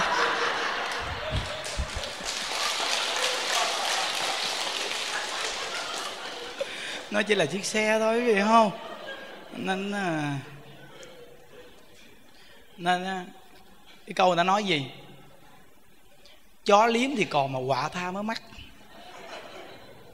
Mình sống nên có tâm lượng lớn một chút, phải không? Cái gì nó cũng là dai trả nhau cái cõi đời này thôi mà. Đừng có suy nghĩ gì cái ngã quá mà mình đánh mất đi một cái tình người, phải không? Con người đến với nhau cũng đâu phải lúc nào cũng là như vậy thôi đâu nên từ nơi đó, cái xe quay lại nhà đức ra nhìn chiếc xe, nhà đức nói, đi hơn 6 năm rồi, mà vẫn còn mới sao? Chủ xe này xài cũng kỹ á nha. Ờ, ông xài cũng kỹ ông nói con ông là có lỗi những đức. Nghĩa là lấy xe của thầy đi luôn, tới bây giờ. Hỏi ba con chết làm sao? Ba con chết thảm lắm thầy ơi. Bệnh đau te tôi vô bệnh viện nằm chết chồng thì những đức nói phải chi ngày xưa ông đi theo những đức. Thì bây giờ ông đi xe hơi luôn đừng nói xe honda. À, ông gì quá gấp gáp nên ông chỉ có chiếc 50 mà ông còn bị mang tiếng cuộc đời. Nói vậy phải đi theo những đức bây giờ là đi xe hơi luôn. Mà còn gặp được nhiều người kính trọng. Hơn 6 năm nay theo những đức là quá ngon lành chắc chắn là nằm trong vòng hộ niệm chết. Đẹp vô cùng. Đúng không? được bao nhiêu người hộ niệm đúng không quý vị? Sai một ly đi ngàn dặm nên con người chúng ta đừng vì một cái lợi ích nhất thời, chúng ta đánh mất đi chính cái tâm tư của mình là một con người quý thấy không? Có rất nhiều người chúng ta vì vật chất chúng ta bị mù mờ, không sáng suốt đối vị à. Nên tu học là gì vượt qua vật chất, danh lợi mới được ha sống nó có ý nghĩa cuộc đời rồi, xe 50 thôi được. Bây giờ nói thật lòng, xin những đức như đức cho liền, nói dòng do nghèo cũng cho luôn. Tại vì tu hành hiểu quý vị nhưng mà làm gì thấy tội ghê. Kêu con đem lên trả lại. Trả xe lại. Những đức nói, cái này tôi cũng không có không có suy nghĩ tới đâu. Nhưng mà thôi, đó là sự chăn chối của chú. Những đức cũng đâu có chạy xe đâu. Vì có ông ờ, huynh đệ ông đi tu mà ông cũng không có xe ông đa ông đi. Ông nói, ông bệnh đau, đi mua thuốc uống, không có xe. Mấy lần buông sinh, những đức cũng nói, được rồi. Của thiên trả địa cho ông xe này luôn. Nha cho người ta đi luôn, xong. Của đã ra khỏi đôi tay mình rồi thì thôi, cho ta xài luôn đi. Còn con người mà đi ra khỏi tay mình thì nếu người ta có cơ hội quay lại thì cho cơ hội. Người và của khác nhau quý vị không? Của là để dùng thì cho người ta dùng thì được thôi. Còn người thì mình nếu giúp được thì giúp thôi. Hai vị người mà con người nó có linh, tánh làm phật, nên lỡ người ta sai lầm rồi người ta quay lại mình nên cho người ta cơ hội nên cho người ta cơ hội. Đó. nên từ nơi đó con người sống vậy, tâm lượng nó mới rộng quý vị à. Cái gì khoan dung được thì khoan dung đi. Cuộc đời có mấy chục năm mà. Cuộc đời ngắn ngủi có là bao. Thấy không? Nên từ nơi đó chúng ta nên sống những ngày tháng làm sao mà nó đặc biệt nhất, tự tại nhất của cuộc đời mình. Đừng có buồn giận ai để trong tâm. Không? Nên các cô ngồi đây đông nghe Phật pháp rồi. Cái gì của mình là của mình nè các cô đừng có quá ghen tuông, bó buộc người ta quá. Chịu không nổi đó mấy cô à. Thấy không? Nên có khi có chồng xấu thì mặc cảm, có chồng đẹp thì ghen tuông. Đúng là cõi đời này là đúng là cõi khổ. Cõi đời là cõi khổ phải không? Xấu thì mặc cảm, đi với chồng xấu, mắc cỡ. Nhưng nếu suy nghĩ kỹ ra, đi với chồng xấu yên tâm. Ai nhìn kệ họ, không quan tâm để ý tới nhưng mà chồng mình đẹp trai ai mà nhìn một cái mà chồng mình quay nhìn cái nhìn gì? Cùng tớp cùng tớp rồi gặp cái nhìn này.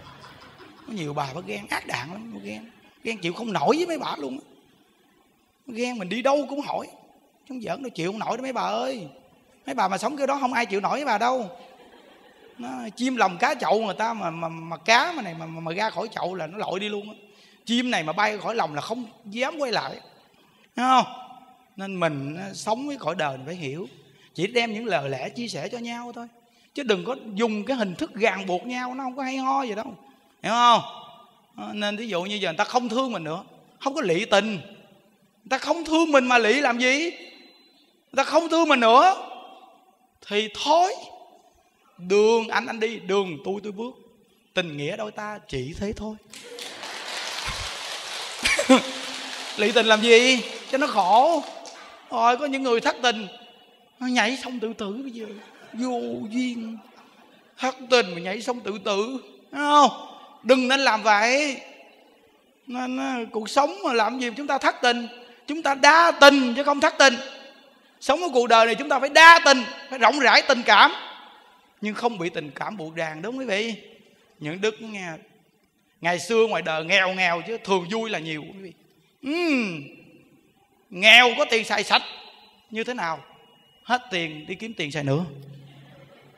Nên đi tu rồi, nó nói nó cũng có cái tố chất này một chút đó quý vị. Có tố chất này một chút. Nên từ nó đó đối với danh lợi nhẹ thì càng khỏe nữa.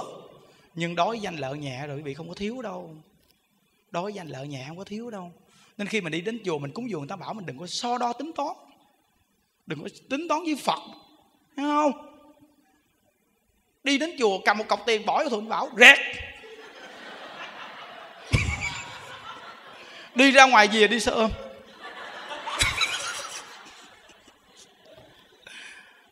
con không tính toán với phật. Về chồng hỏi tiền đâu? Cũng dùng chùa hết à. Mày. Nói nói gì đừng có làm thiệt nha trời. Nhưng cũng đừng bao giờ lựa đồng tiền nhỏ nhất cúng cho phật. Tâm này nhỏ quá. Nhưng nói cúng cũng được rồi không? Nhưng mà phiên quý vị, đừng bao giờ cúng dường tam bảo mà lựa đồng tiền nhỏ nhất cúng. Tâm này quá bé. Hiểu không? Ít gì con người mình cũng phải rộng rãi một chút. Tại vì chính nhân đức học phật nhân đức thấy ra rồi. Tâm lượng lớn, phước báo lớn à. Tùy theo tâm lượng quý vị mà tăng phước mau nhất. Nhân đức chuyển cái nghiệp rất là mau. Vì sao? Tâm nhân đức nó lớn quá. Suy nghĩ nhiều gì cho người khác. Suy nghĩ nhiều về cho người khác đó quý vị nhưng đức đang đặt 2.000 cộng dây chuyền, đẹp lắm. Dây chuyền rất là đẹp. Có hình phật a di đà mà quý vị bất cứ lúc nào, quý vị cũng có thể cầm tượng phật a di đà đó, hộ niệm cho quý vị được. Ví dụ như có cái máy niệm phật nhỏ đeo cổ, và một hình phật a di đà đeo cổ này rất đẹp, nhỏ xíu thôi. Sống trong cõi đời nhiều kiếp nạn này, bất cứ nơi nào cũng nhìn phật a di đà a di đà giận xanh thấy không? Hình phật a di đà đẹp nha cộng truyền công nhận đẹp. Đang đặt hai ngàn cộng đó. Cái cô đặt dùm đó, báo cho biết ngày giờ chừng nào có. Để chi? Để thông báo quý phật tử biết trước một tuần. Đó. cho người ta biết trước một tuần để người ta đi đúng ngày. Đúng không? Hai ngàn cộng, đang đặt hai ngàn cộng rồi đó chị. Và đang lặt lo mà phương pháp tu ba ngàn cái về sẽ tặng quý vị thêm lần nữa. Nghĩa là dưới cái cõi đời này tiền bạc nên xài. Xài đúng nơi đúng chỗ luôn. Để chi cho nó mệt. Đúng không? Nên công nhận chùa mình dùng tiền thoải mái mà không thiếu tiền. Hay thiệt. Công nhận là hay thiệt luôn quý vị. Ừ. Vì tin rằng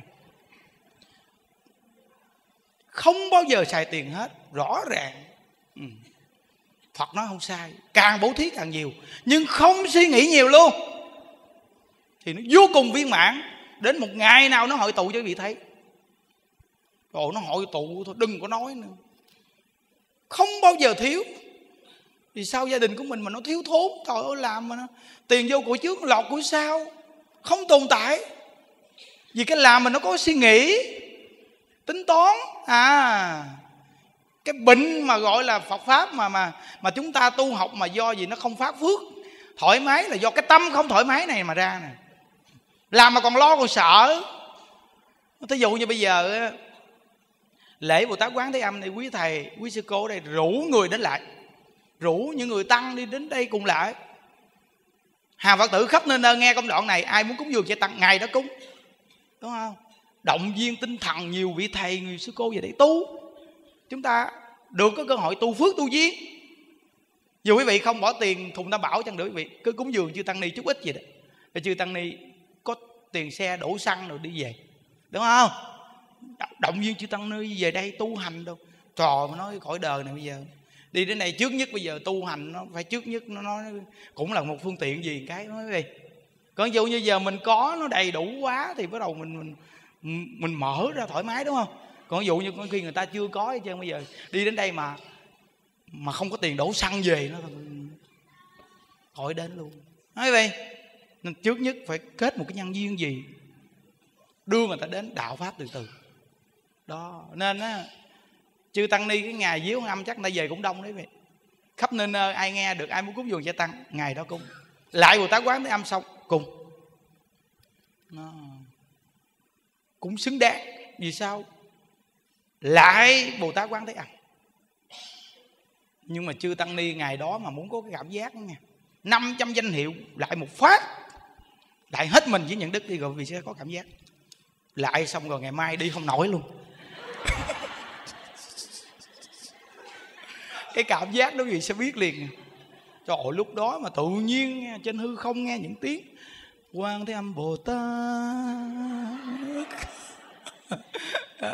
ôi ôi quý vị biết rằng tất cả các cô mà phá thai nghiệp chướng nặng nề rồi trong cái pháp hội lại bồ tát quán thế âm á, lại đi, mấy cô lại tới cung một ngàn lại, mấy cô lại đi. Mấy cô lại mà ngày mai mà xương đồ mấy cô, thịt đồ mấy cô mà nó ế ẩm hết luôn. Là biết rồi, nó tiêu nghiệp dữ lắm rồi nè. Ừ. rồi bắt đầu là vài ngày sau nó khỏe lại đó nghe. Mấy cô thấy mấy cô thư thái lạ thường lắm. Chỗ này là kinh nghiệm mà mới lại thì giống như nó mỏi, nó đau, nhưng mà ngộ ta vài ngày sau á, tự nhiên mấy cô có một cái gì, cái trạng thái gì lạ lắm kìa. Nhưng mà lại quen là không bao giờ bị đâu.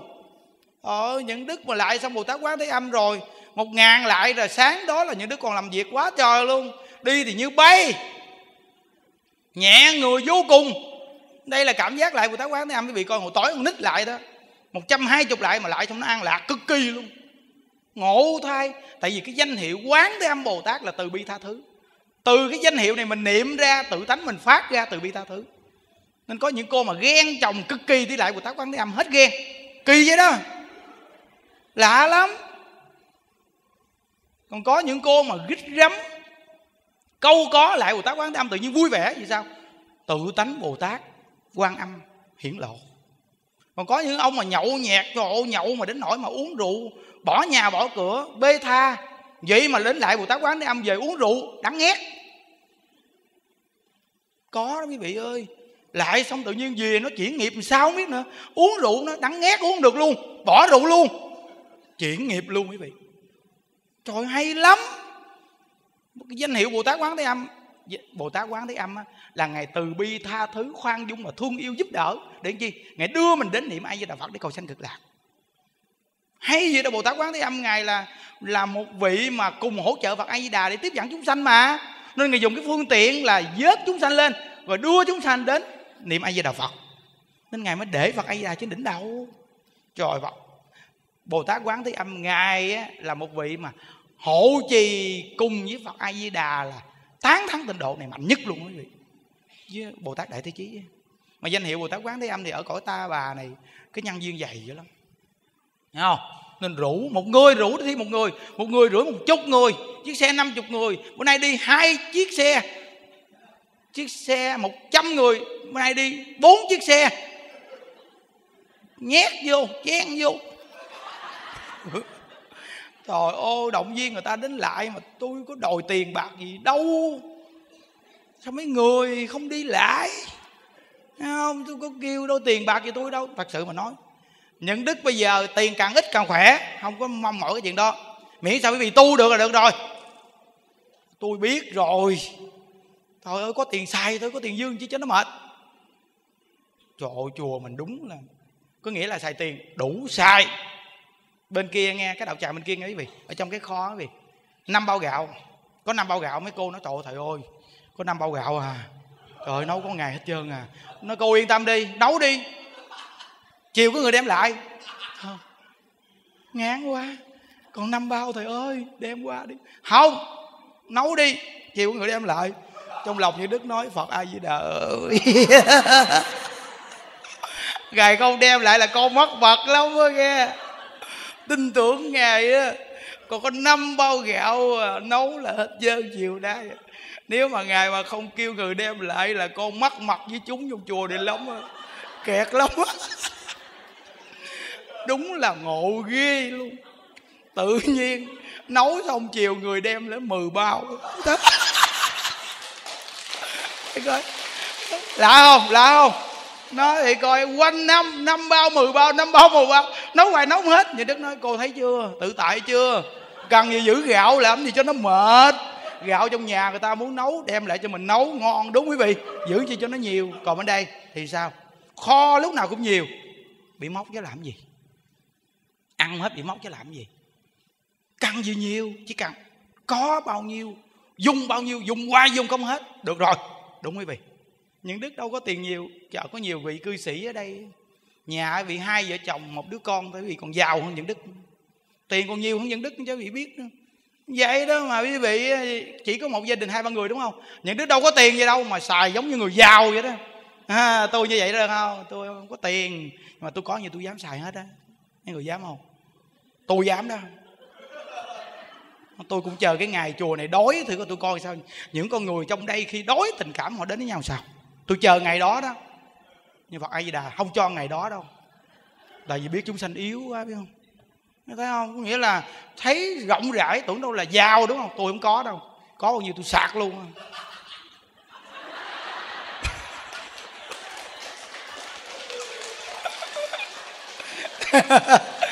lâu lâu dư tiền được chút nha.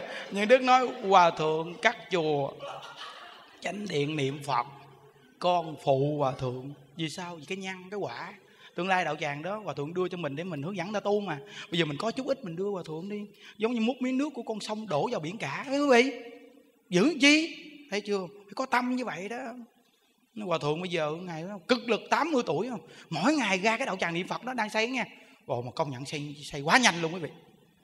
Mới có hai ba tháng mà bây giờ mọc lên bốn dãy nhà một cái chánh điện. Trời ơi nó xây nhà giống biến cái trời coi một cái chùa kia mà xây 7 năm mà chỉ có mấy cây cột. Và thượng mình ba tháng mọc lên một cái chánh điện lên một tầng đổ thêm tiếp tục một tầng nữa và bốn dãy nhà bự xuất hiện. Rồi nó công nhận cái, cái nhân viên mà thượng xây dựng đủ duyên thiệt luôn quý vị. Không? Nên từ nơi đó tháng 10 có đạo tràng niệm phật nữa quý vị đúng là mừng nha quý vị. Mừng là xuất hiện những đạo tràng niệm phật nó xuất hiện những đạo tràng niệm phật. Mừng mừng nhất là vậy đó. Tại vì có đạo tràng niệm phật là mình có cơ hội mình về mình niệm phật. Hà phật tử khắp nơi nơi bây giờ quý vị mai mốt quý vị bây giờ hiện tại ở gia đình cứ lo làm ăn đàng hoàng sống cho thật là tốt vui vẻ đi. Mai mốt quý vị già khỏi cần lo. Con có nuôi không nuôi là số phận của mình. Nhưng quý vị có gì đi về đây nhận đức nuôi. Chịu không? Ừ, không cần lo nghĩ chứ nghe tiền bạc cho nó sạch hết đi. Rồi xong về đây không có một cái gì hết hồi sáng mới nhận bà già ở miền ngoài vô. Cũng lớn tuổi, thấy tội nghiệp. Đứa con nói, mẹ con nhà sống mình tội nghiệp. Người già càng về sau càng tội nghiệp lắm, khổ. Bây giờ mẹ con muốn vô đây niệm phật, thầy ơi. Nó ờ cho bà niệm phật đi, từ từ tính sao. Yên tâm đi, mấy điểm nữa mà rộng rãi, bao la đúng không? Nó, nên từ nó đối vị thấy người ta có nơi nương tựa, thấy không? Đó, đặc biệt vô cùng. Những bà già nhìn thấy ba thấy tội nghiệp. Đang hộ niệm một bà cụ trong trong phòng hộ niệm. Kế phòng hộ niệm có cái nhà phương trượng vì thấy cái đường đi qua đi lại có cái nhà sau lưng cái chánh điện cũ. Thì bước vô thì thấy cái bà già nằm ấm như ấm nhách bị coi thế coi. Nhìn cái răng cửa sổ đứng nhìn bà da nó bọc, vô xương trời ơi nó ốm gì cực kỳ ốm luôn quý vị ơi. Vậy mà nằm thời gian lâu lắm rồi quý vị mà chưa đi. Nhìn một cái mình nói rồi còn những bà già mà nó sưng phù lên hết trơn. Được con cái là tỉnh táo niệm phật thôi mà sưng phù lên đúng là thăng tứ đại nó trả nợ cuộc đời đau khổ thiệt. Sưng phù lên nước của ngày nó chảy ra mấy cô cứ cứ cứ cầm cái khăn nhúng nhúng nhúng nhúng, nhúng nước sưng lên xong nước nó chảy ra. Trời nhìn tình cảnh đó mình nói trời ơi cuộc đời mình mai mốt cũng già quý vị ơi. Trời ơi bây giờ quý vị nặng nề cái gì quá vậy quý vị? Đúng không? Nó đi đến đây có dịp lâu lâu đến đây đi thăm mấy cụ già đấy quý vị coi. Lụm cụm lụm cụm đi. Bà chống gậy bà xí cụ que.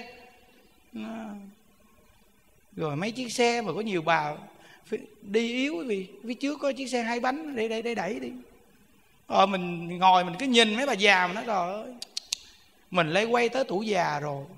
Đúng không? Nên từ nơi đó mà cuộc đời nó nhắc nhở nhau gì nữa quý vị. Nên sống những ngày tháng thiệt là vui để niệm phật. Sống thiệt là an lạc để niệm phật. Đừng có buồn giận ai để trong tâm. Những việc gì thiện, những việc gì tốt được thì chân thật mà làm. Gieo nhân gì gặt quả báo nấy à quý vị. Chúng ta đến cái cõi đời này gọi là nhân sinh thù nghiệp. Đến cõi đời này để đòi nợ hoặc trả nợ đúng không? Tại sao mà chúng ta nói rằng là đến cái cõi đời này sao phần nhiều là khổ nhiều? Không khổ sao đến đây? Đến cõi đời này mà không khổ là đâu phải là thế gian. Phật nói trong kinh là ngũ trượt ác thế đúng không? Đến cõi đời này là phải khổ. Khổ mới tu. Cho nên chờ không tu ừ, nên chờ không tu.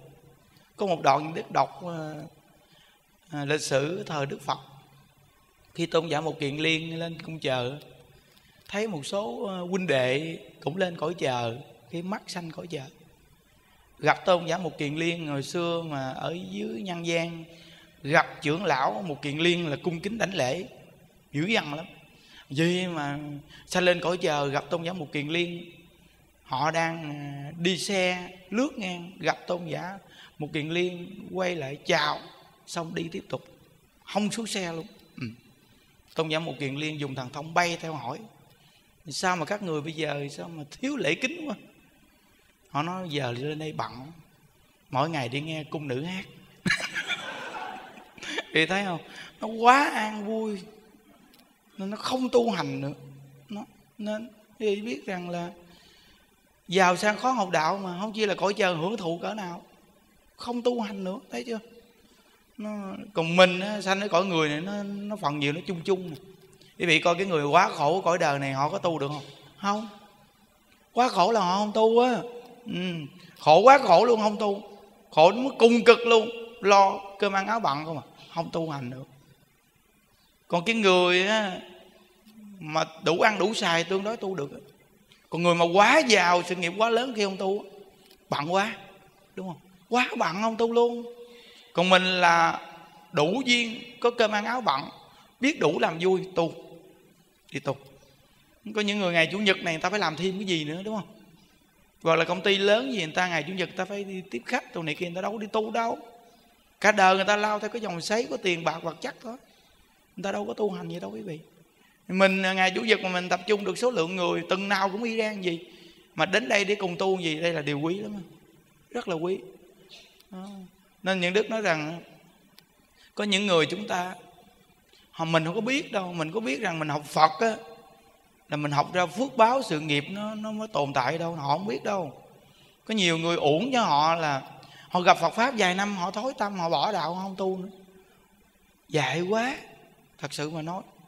Dù là đời này không cầu sanh cực lạc đi chăng nữa, mà học Phật là nhất định học được cái sự nghiệp tồn tại lâu dài của cõi đời này đó quý vị vì sao? Vì học Phật mình mới có thể. Mình tu phước tu duyên. Quý vị, rõ ràng quý vị đi đến chùa này, quý vị có cơ hội tu phước tu duyên rất là nhiều nha. Có cơ hội và được chỉ dẫn tu phước tu duyên rất là nhiều. Ví dụ mình đi đến đây mình đặt về máy, cái máy nghe pháp đi, mình gặp bà con dòng họ chồng sớm mình tặng người ta một cái cũng tu phước tu duyên được cái bộ. Có nghĩa là rất nhiều cách để tu phước tu duyên được và mình nghe đạo nó nó chỉnh đốn được cái tâm xấu của mình, nó tốt cho mình đó dù cho mình giàu cỡ nào đi chăng nữa, nếu mà con người mình nó lao theo cái dòng xoáy của cuộc đời này, có khi một ngày nào sự nghiệp nó tan thành bất tử. Dù là bây giờ mình nói mình học phật, mình không cầu giải thoát gì đi, nhưng mà cái cõi đời này quý vị, học phật quý vị vẫn được sự an vui. Và tốt đẹp vô cùng. Nên những đức có nói rằng là, niệm phật hiện đời an vui. Hiện đời này niệm phật là an vui nè.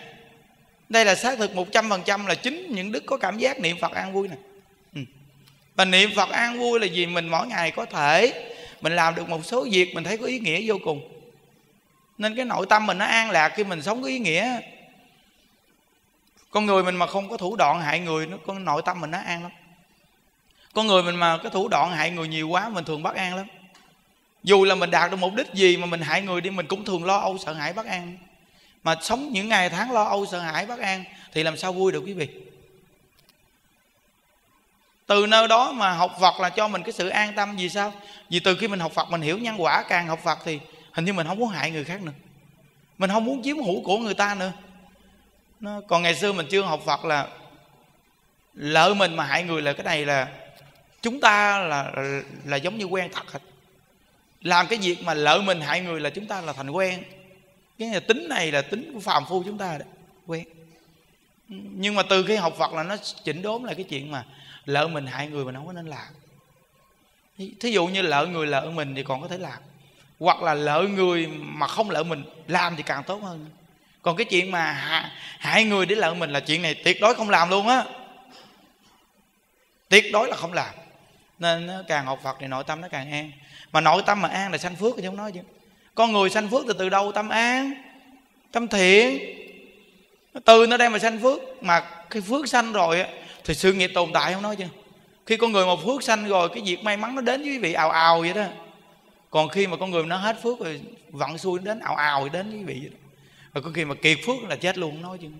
Con người mà phước tăng là thọ mạng kéo dài, sự nghiệp tồn tại, sự nghiệp nó cứ nó cứ hưng khởi hoài vậy đó. Việc may mắn nó cứ đến với mình. Tại vì sao? Vì phước dày quá. Thí dụ như một cái ly có nước uống hoài uống cũng hết. Nhưng mà nếu mà cái ly nó hết nước rồi, vì uống nó cũng có miếng nước nào, đúng không? Nên con người á, biết dùng thì phải biết tạo ra. Nguyên lý của nó là phải tồn tại là dùng thì phải biết tạo ra. Giống như chúng ta làm cha làm mẹ đi chúng ta tạo ra tiền bạc chúng ta cho tiền con mình mình phải chỉ con mình.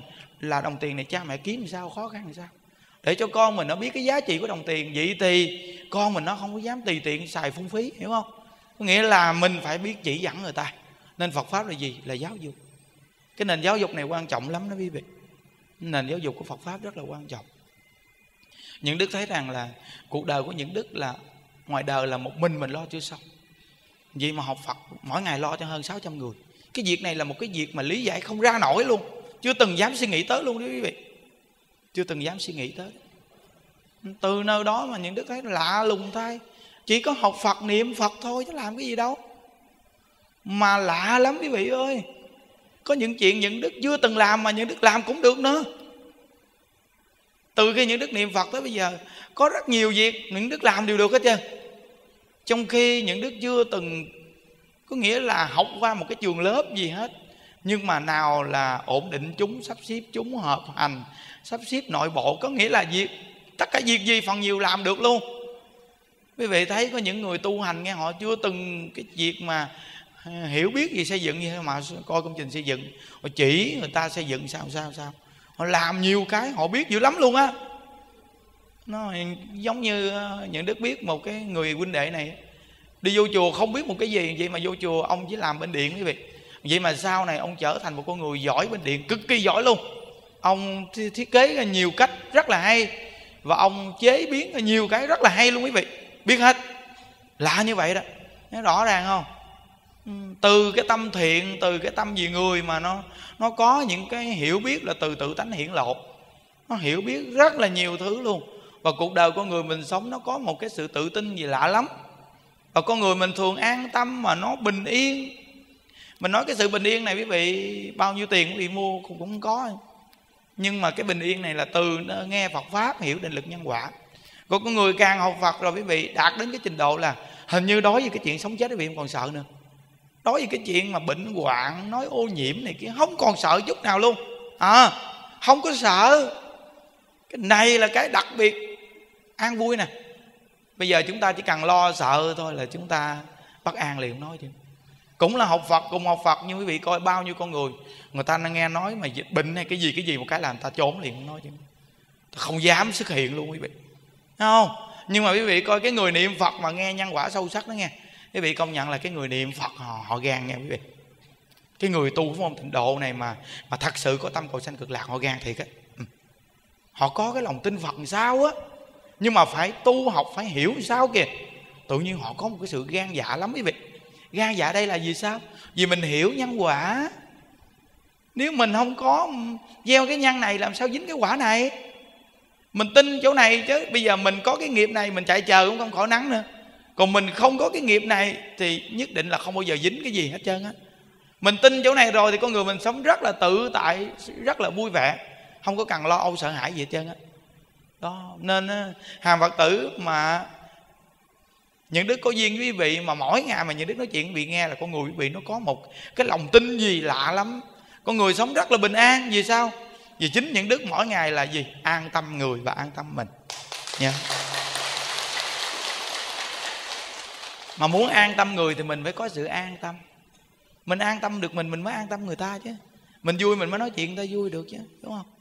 Nó nên ngày chủ nhật nào cũng đông đúc là vì sao? Vì chúng ta về đây là học cái gì? An tâm. Nó, học an tâm. Học an tâm là học hạnh phúc nhất một con người an tâm là sanh phước chắc chắn không nói dòng dõi. Phước tăng lớn lắm. Nên bây giờ những đức thấy rằng là tu hành là mình có phương pháp rồi tu là có phương pháp và yên tâm. Cứ lo niệm phật thôi à. nó, tại vì sao? Hiện đời an vui. Hiện đời là cuộc sống hiện tại là an vui nè. Quý vị thấy ít bao giờ những đức mà nói cái câu gì mà buồn đúng không? Còn nói câu gì mà khổ đau rồi lắm đúng không? Quý vị không nghe những đức nói câu khổ đau và buồn nha. Và nói cái câu mà mà mà mà cái gì đó mà mà, mà ghê ghê sợ sợ rồi không có có nghĩa là tới mình là những câu dễ khỏe vui. Đó, vậy thôi.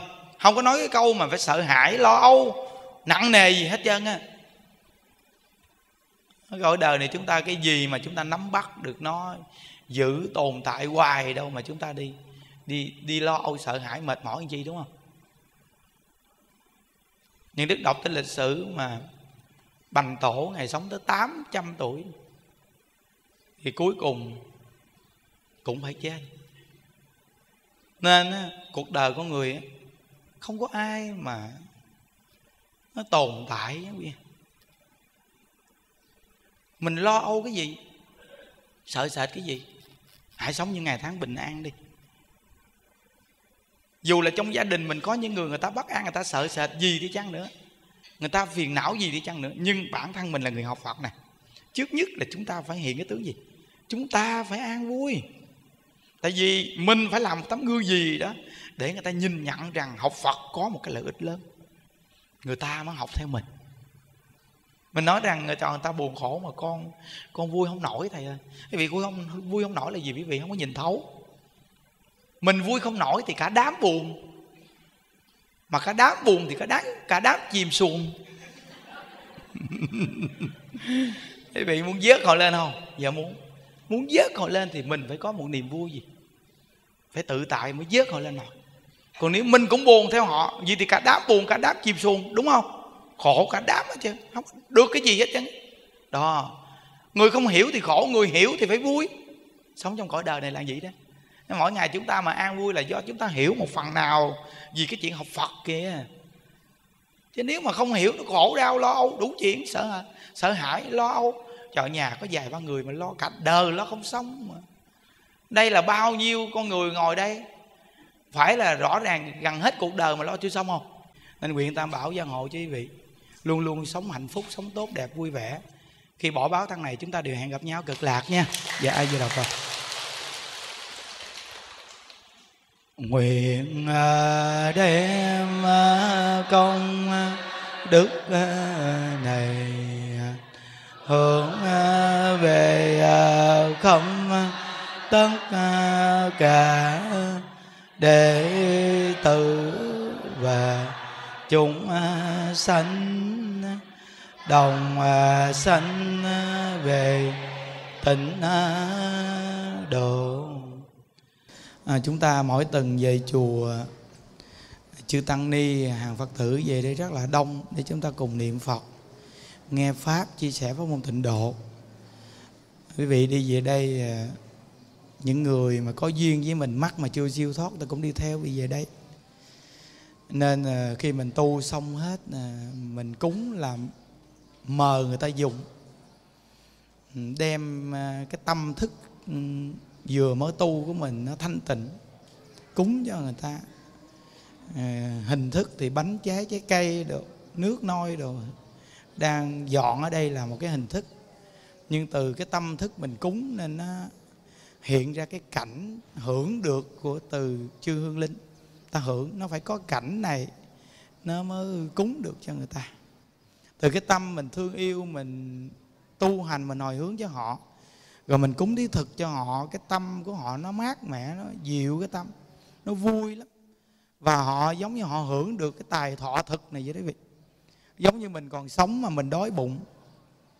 Mà ai mà đãi mình ăn, mình mừng lắm, mình cảm ơn người ta lắm. Thì giống như chư hương linh mà đói khát mà không ai cúng người ta khổ lắm quý vị ơi. Có những thai nhi mà đói khát không có đồ đạc bận bị phá thai mà vất vơ vất vưởng, khổ đau vậy mà người ta về đây mà người ta được tu, người ta hưởng được cái công đức niệm phật. Rồi mình cúng thí thực ờ, như có sữa đồ này kia đồ, người thai nhi mừng. Nên con người biết tu thì thương con người, chư hương linh biết tu thì thương chư hương linh. Phải nhớ. Chứ mình không có được ỷ mạnh, hiếp yếu. Cái tâm đó thì nó khổ đau triền miên. Nên phát cái tâm thương yêu và biết niệm phật. Đức phật a di đà, ngài phát cái lời nguyện mà chúng sanh mười phương niệm danh hiệu ngài. Chí tâm muốn về cảnh giới cực lạc thì ngài tiếp dẫn. Nhất là chư hương linh đã không còn cái thân tứ đại này nữa. Nếu như buông xuống cái tâm hận thù đòi nợ mà quyết tâm niệm phật, thì chắc chắn là dễ dàng sanh hơn cái người còn mang cái thân tứ đại này. Phải nhớ. Nên buông xuống cái tâm hận thù để mà cầu sanh về thế giới cực lạc. Nên chúng ta nguyện đem toàn thể công đức của đại chúng tu hành chúng ta nguyện hồi hướng cầu an trên là đại lão hòa thượng viện chủ, và hồi hướng cho toàn thể đại chúng và gia quyến quý vị thăng tâm thường an lạc, điều pháp bồ đề tâm niệm phật cầu sanh cực lạc. Và chúng ta nguyện đem công đức này nguyện hồi hướng cầu siêu cho cụ quyền thất tổ ông bà cha mẹ anh chị em trong nhiều đời nhiều kiếp, và hương linh thai nhi vì nghiệp phá thai và tất cả những người mắc mà chưa được siêu thoát, đều được thừa hưởng những công đức này, đều phát bộ đề tâm niệm, Phật buông xuống cái tâm hận thù đòi nợ, quyết chí cầu sanh về thế giới Tây phương cực lạc, về thế giới cực lạc luôn luôn hưởng được niềm vui, không còn cái khổ đau như ở cõi ta bà này. Nam mô chứng minh sư Bồ Tát Ma Ha Tát. Như đặng Phật tự chung ngã kim tý như cung từ thực biến thập phương, nhất thiết Phật tự cộng nguyện dị tự công đức à, vô cập ư nhật thiết ngà đặng dự phật tự, giai cộng thành phật đạo. Như đặng ngộ tình chung, ngã kim thi nhự cung. Từ thực biến thập phương nhất thiết ngộ tình cộng. Nguyện dị tự công đức à, vô cập ư nhật thiết ngà đặng dự ngộ tình, giai cộng thành phật đạo như đắng cô hồn chúng, ngã kim thi nhự cung. Thập phương, những tiết cô hồn không. Tự công đức à, vô cập à, với nhật thiệt. Ngà đặng giữ cô hồn giai cộng thành phật đạo án một lụng lắng ta bà ha, án một lụng lắng ta bà ha. Lụng lắng ta bà ha, án ngã ngà nắng ta bà và việc nhật ra hồng tam bà và biệt nhật ra hồng. Á ngã nga nắng tam bà và biệt nhật ca ra hồng. Gia trì chú thực diệu giả đà. Biến thiểu thành đá giai bảo mạng. Nam mô xá sanh tam bồ tát. Nam mô xá sanh tam bồ tát. Nam mô xá sanh tam bồ tát ma tát gia trì chú thực diệu gia đa, biến thiệu thành đa giai bảo mạng. Nam mô xá sang tam bồ tát. Gia trì chú thực diệu gia đa, biến thiệu thành đa giai bảo mạng. Nam mô xá sang tam bồ tát. Gia trì chú thực diệu gia đa, biến thiệu thành đa giai bảo mạng. Nam mô xá sang tam bồ tát. Nam mô xá sang tam bồ tát nam mô sa sanh tam bồ tát ma tát. Cô hồn ơi, hương linh ơi, chiến sĩ chẳng vong động bào tử nạn ơi. Thập nhị loại cô hồn ơi ấu vị vô danh danh vô vị ơi. Thai nhi vì nghiệp phá thai ơi, ở phương tây thế giới an lành con nay xin phát nguyện vãng sanh, cõi xin đức từ bi tiếp độ nam mô tây vương cực lạc a di đà phật a di đà phật a di đà phật a di đà phật a di đà phật.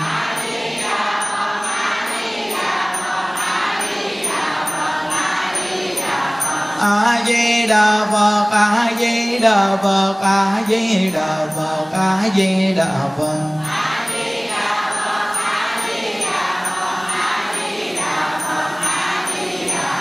a di đà phật a di đà phật a di đà phật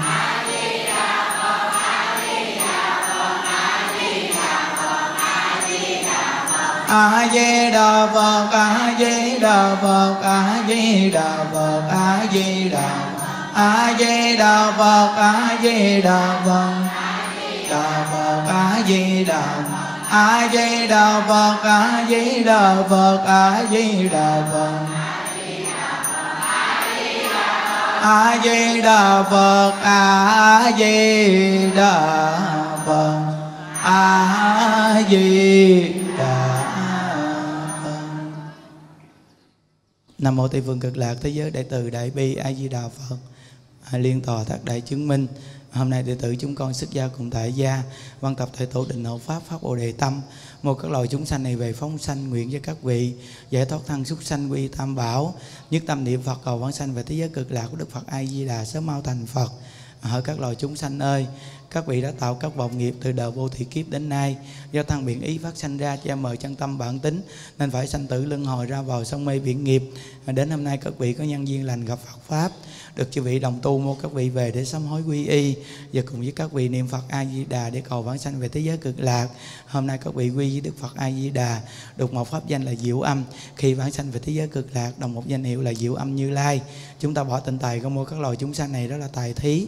Khi sanh ở nơi nào, chúng ta cũng có của cải đầy đủ và chúng ta quy y niệm Phật những chúng sanh này nghe, đó là pháp thí. Chúng ta sanh ở nơi nào cũng được trí tuệ và thông minh. Và chúng ta thả những chúng sanh này bay đi, đó là tu hạnh vô ý thí. Chúng ta sanh ở nơi nào cũng được sức khỏe và tuổi thọ kéo dài. Quy phật không đọa địa ngục quy pháp không đọa ngạ quỷ quy tăng không đọa bàn sanh. Quy phật không đọa địa ngục quy pháp không đọa ngạ quỷ quy tăng không đọa bàn sanh. Quy phật không đọa địa ngục quy pháp không đọa ngạ quỷ quy tăng không đọa bàn sanh.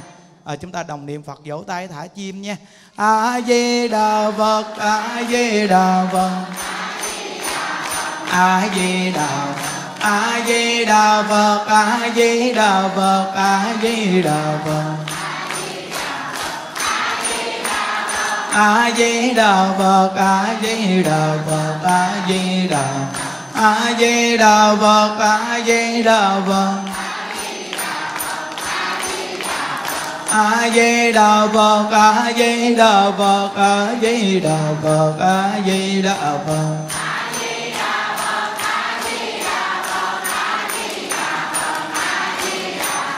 a di đà phật a di đà phật a di đà phật a di đà phật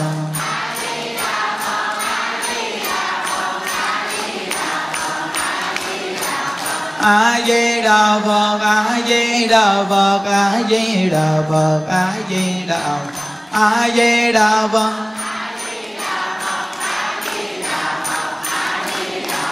a di đà phật di đà phật a di đà phật. Nguyện đem công đức này hướng về công tất cả đệ tử và chúng sanh đồng sanh về tịnh độ. A di đà phật mời đại chúng xuống chai đường để dùng cơm. À, chúc quý vị luôn luôn an lạc vui vẻ nha. A di đà phật mô a di đà phật nam mô a di đà phật nam mô a di đà phật Nam mô A Di Đà Phật. Nam mô A Di Đà Phật. Nam mô A Di Đà Phật. nam mô nam mô a di đà phật. Nam mô a di đà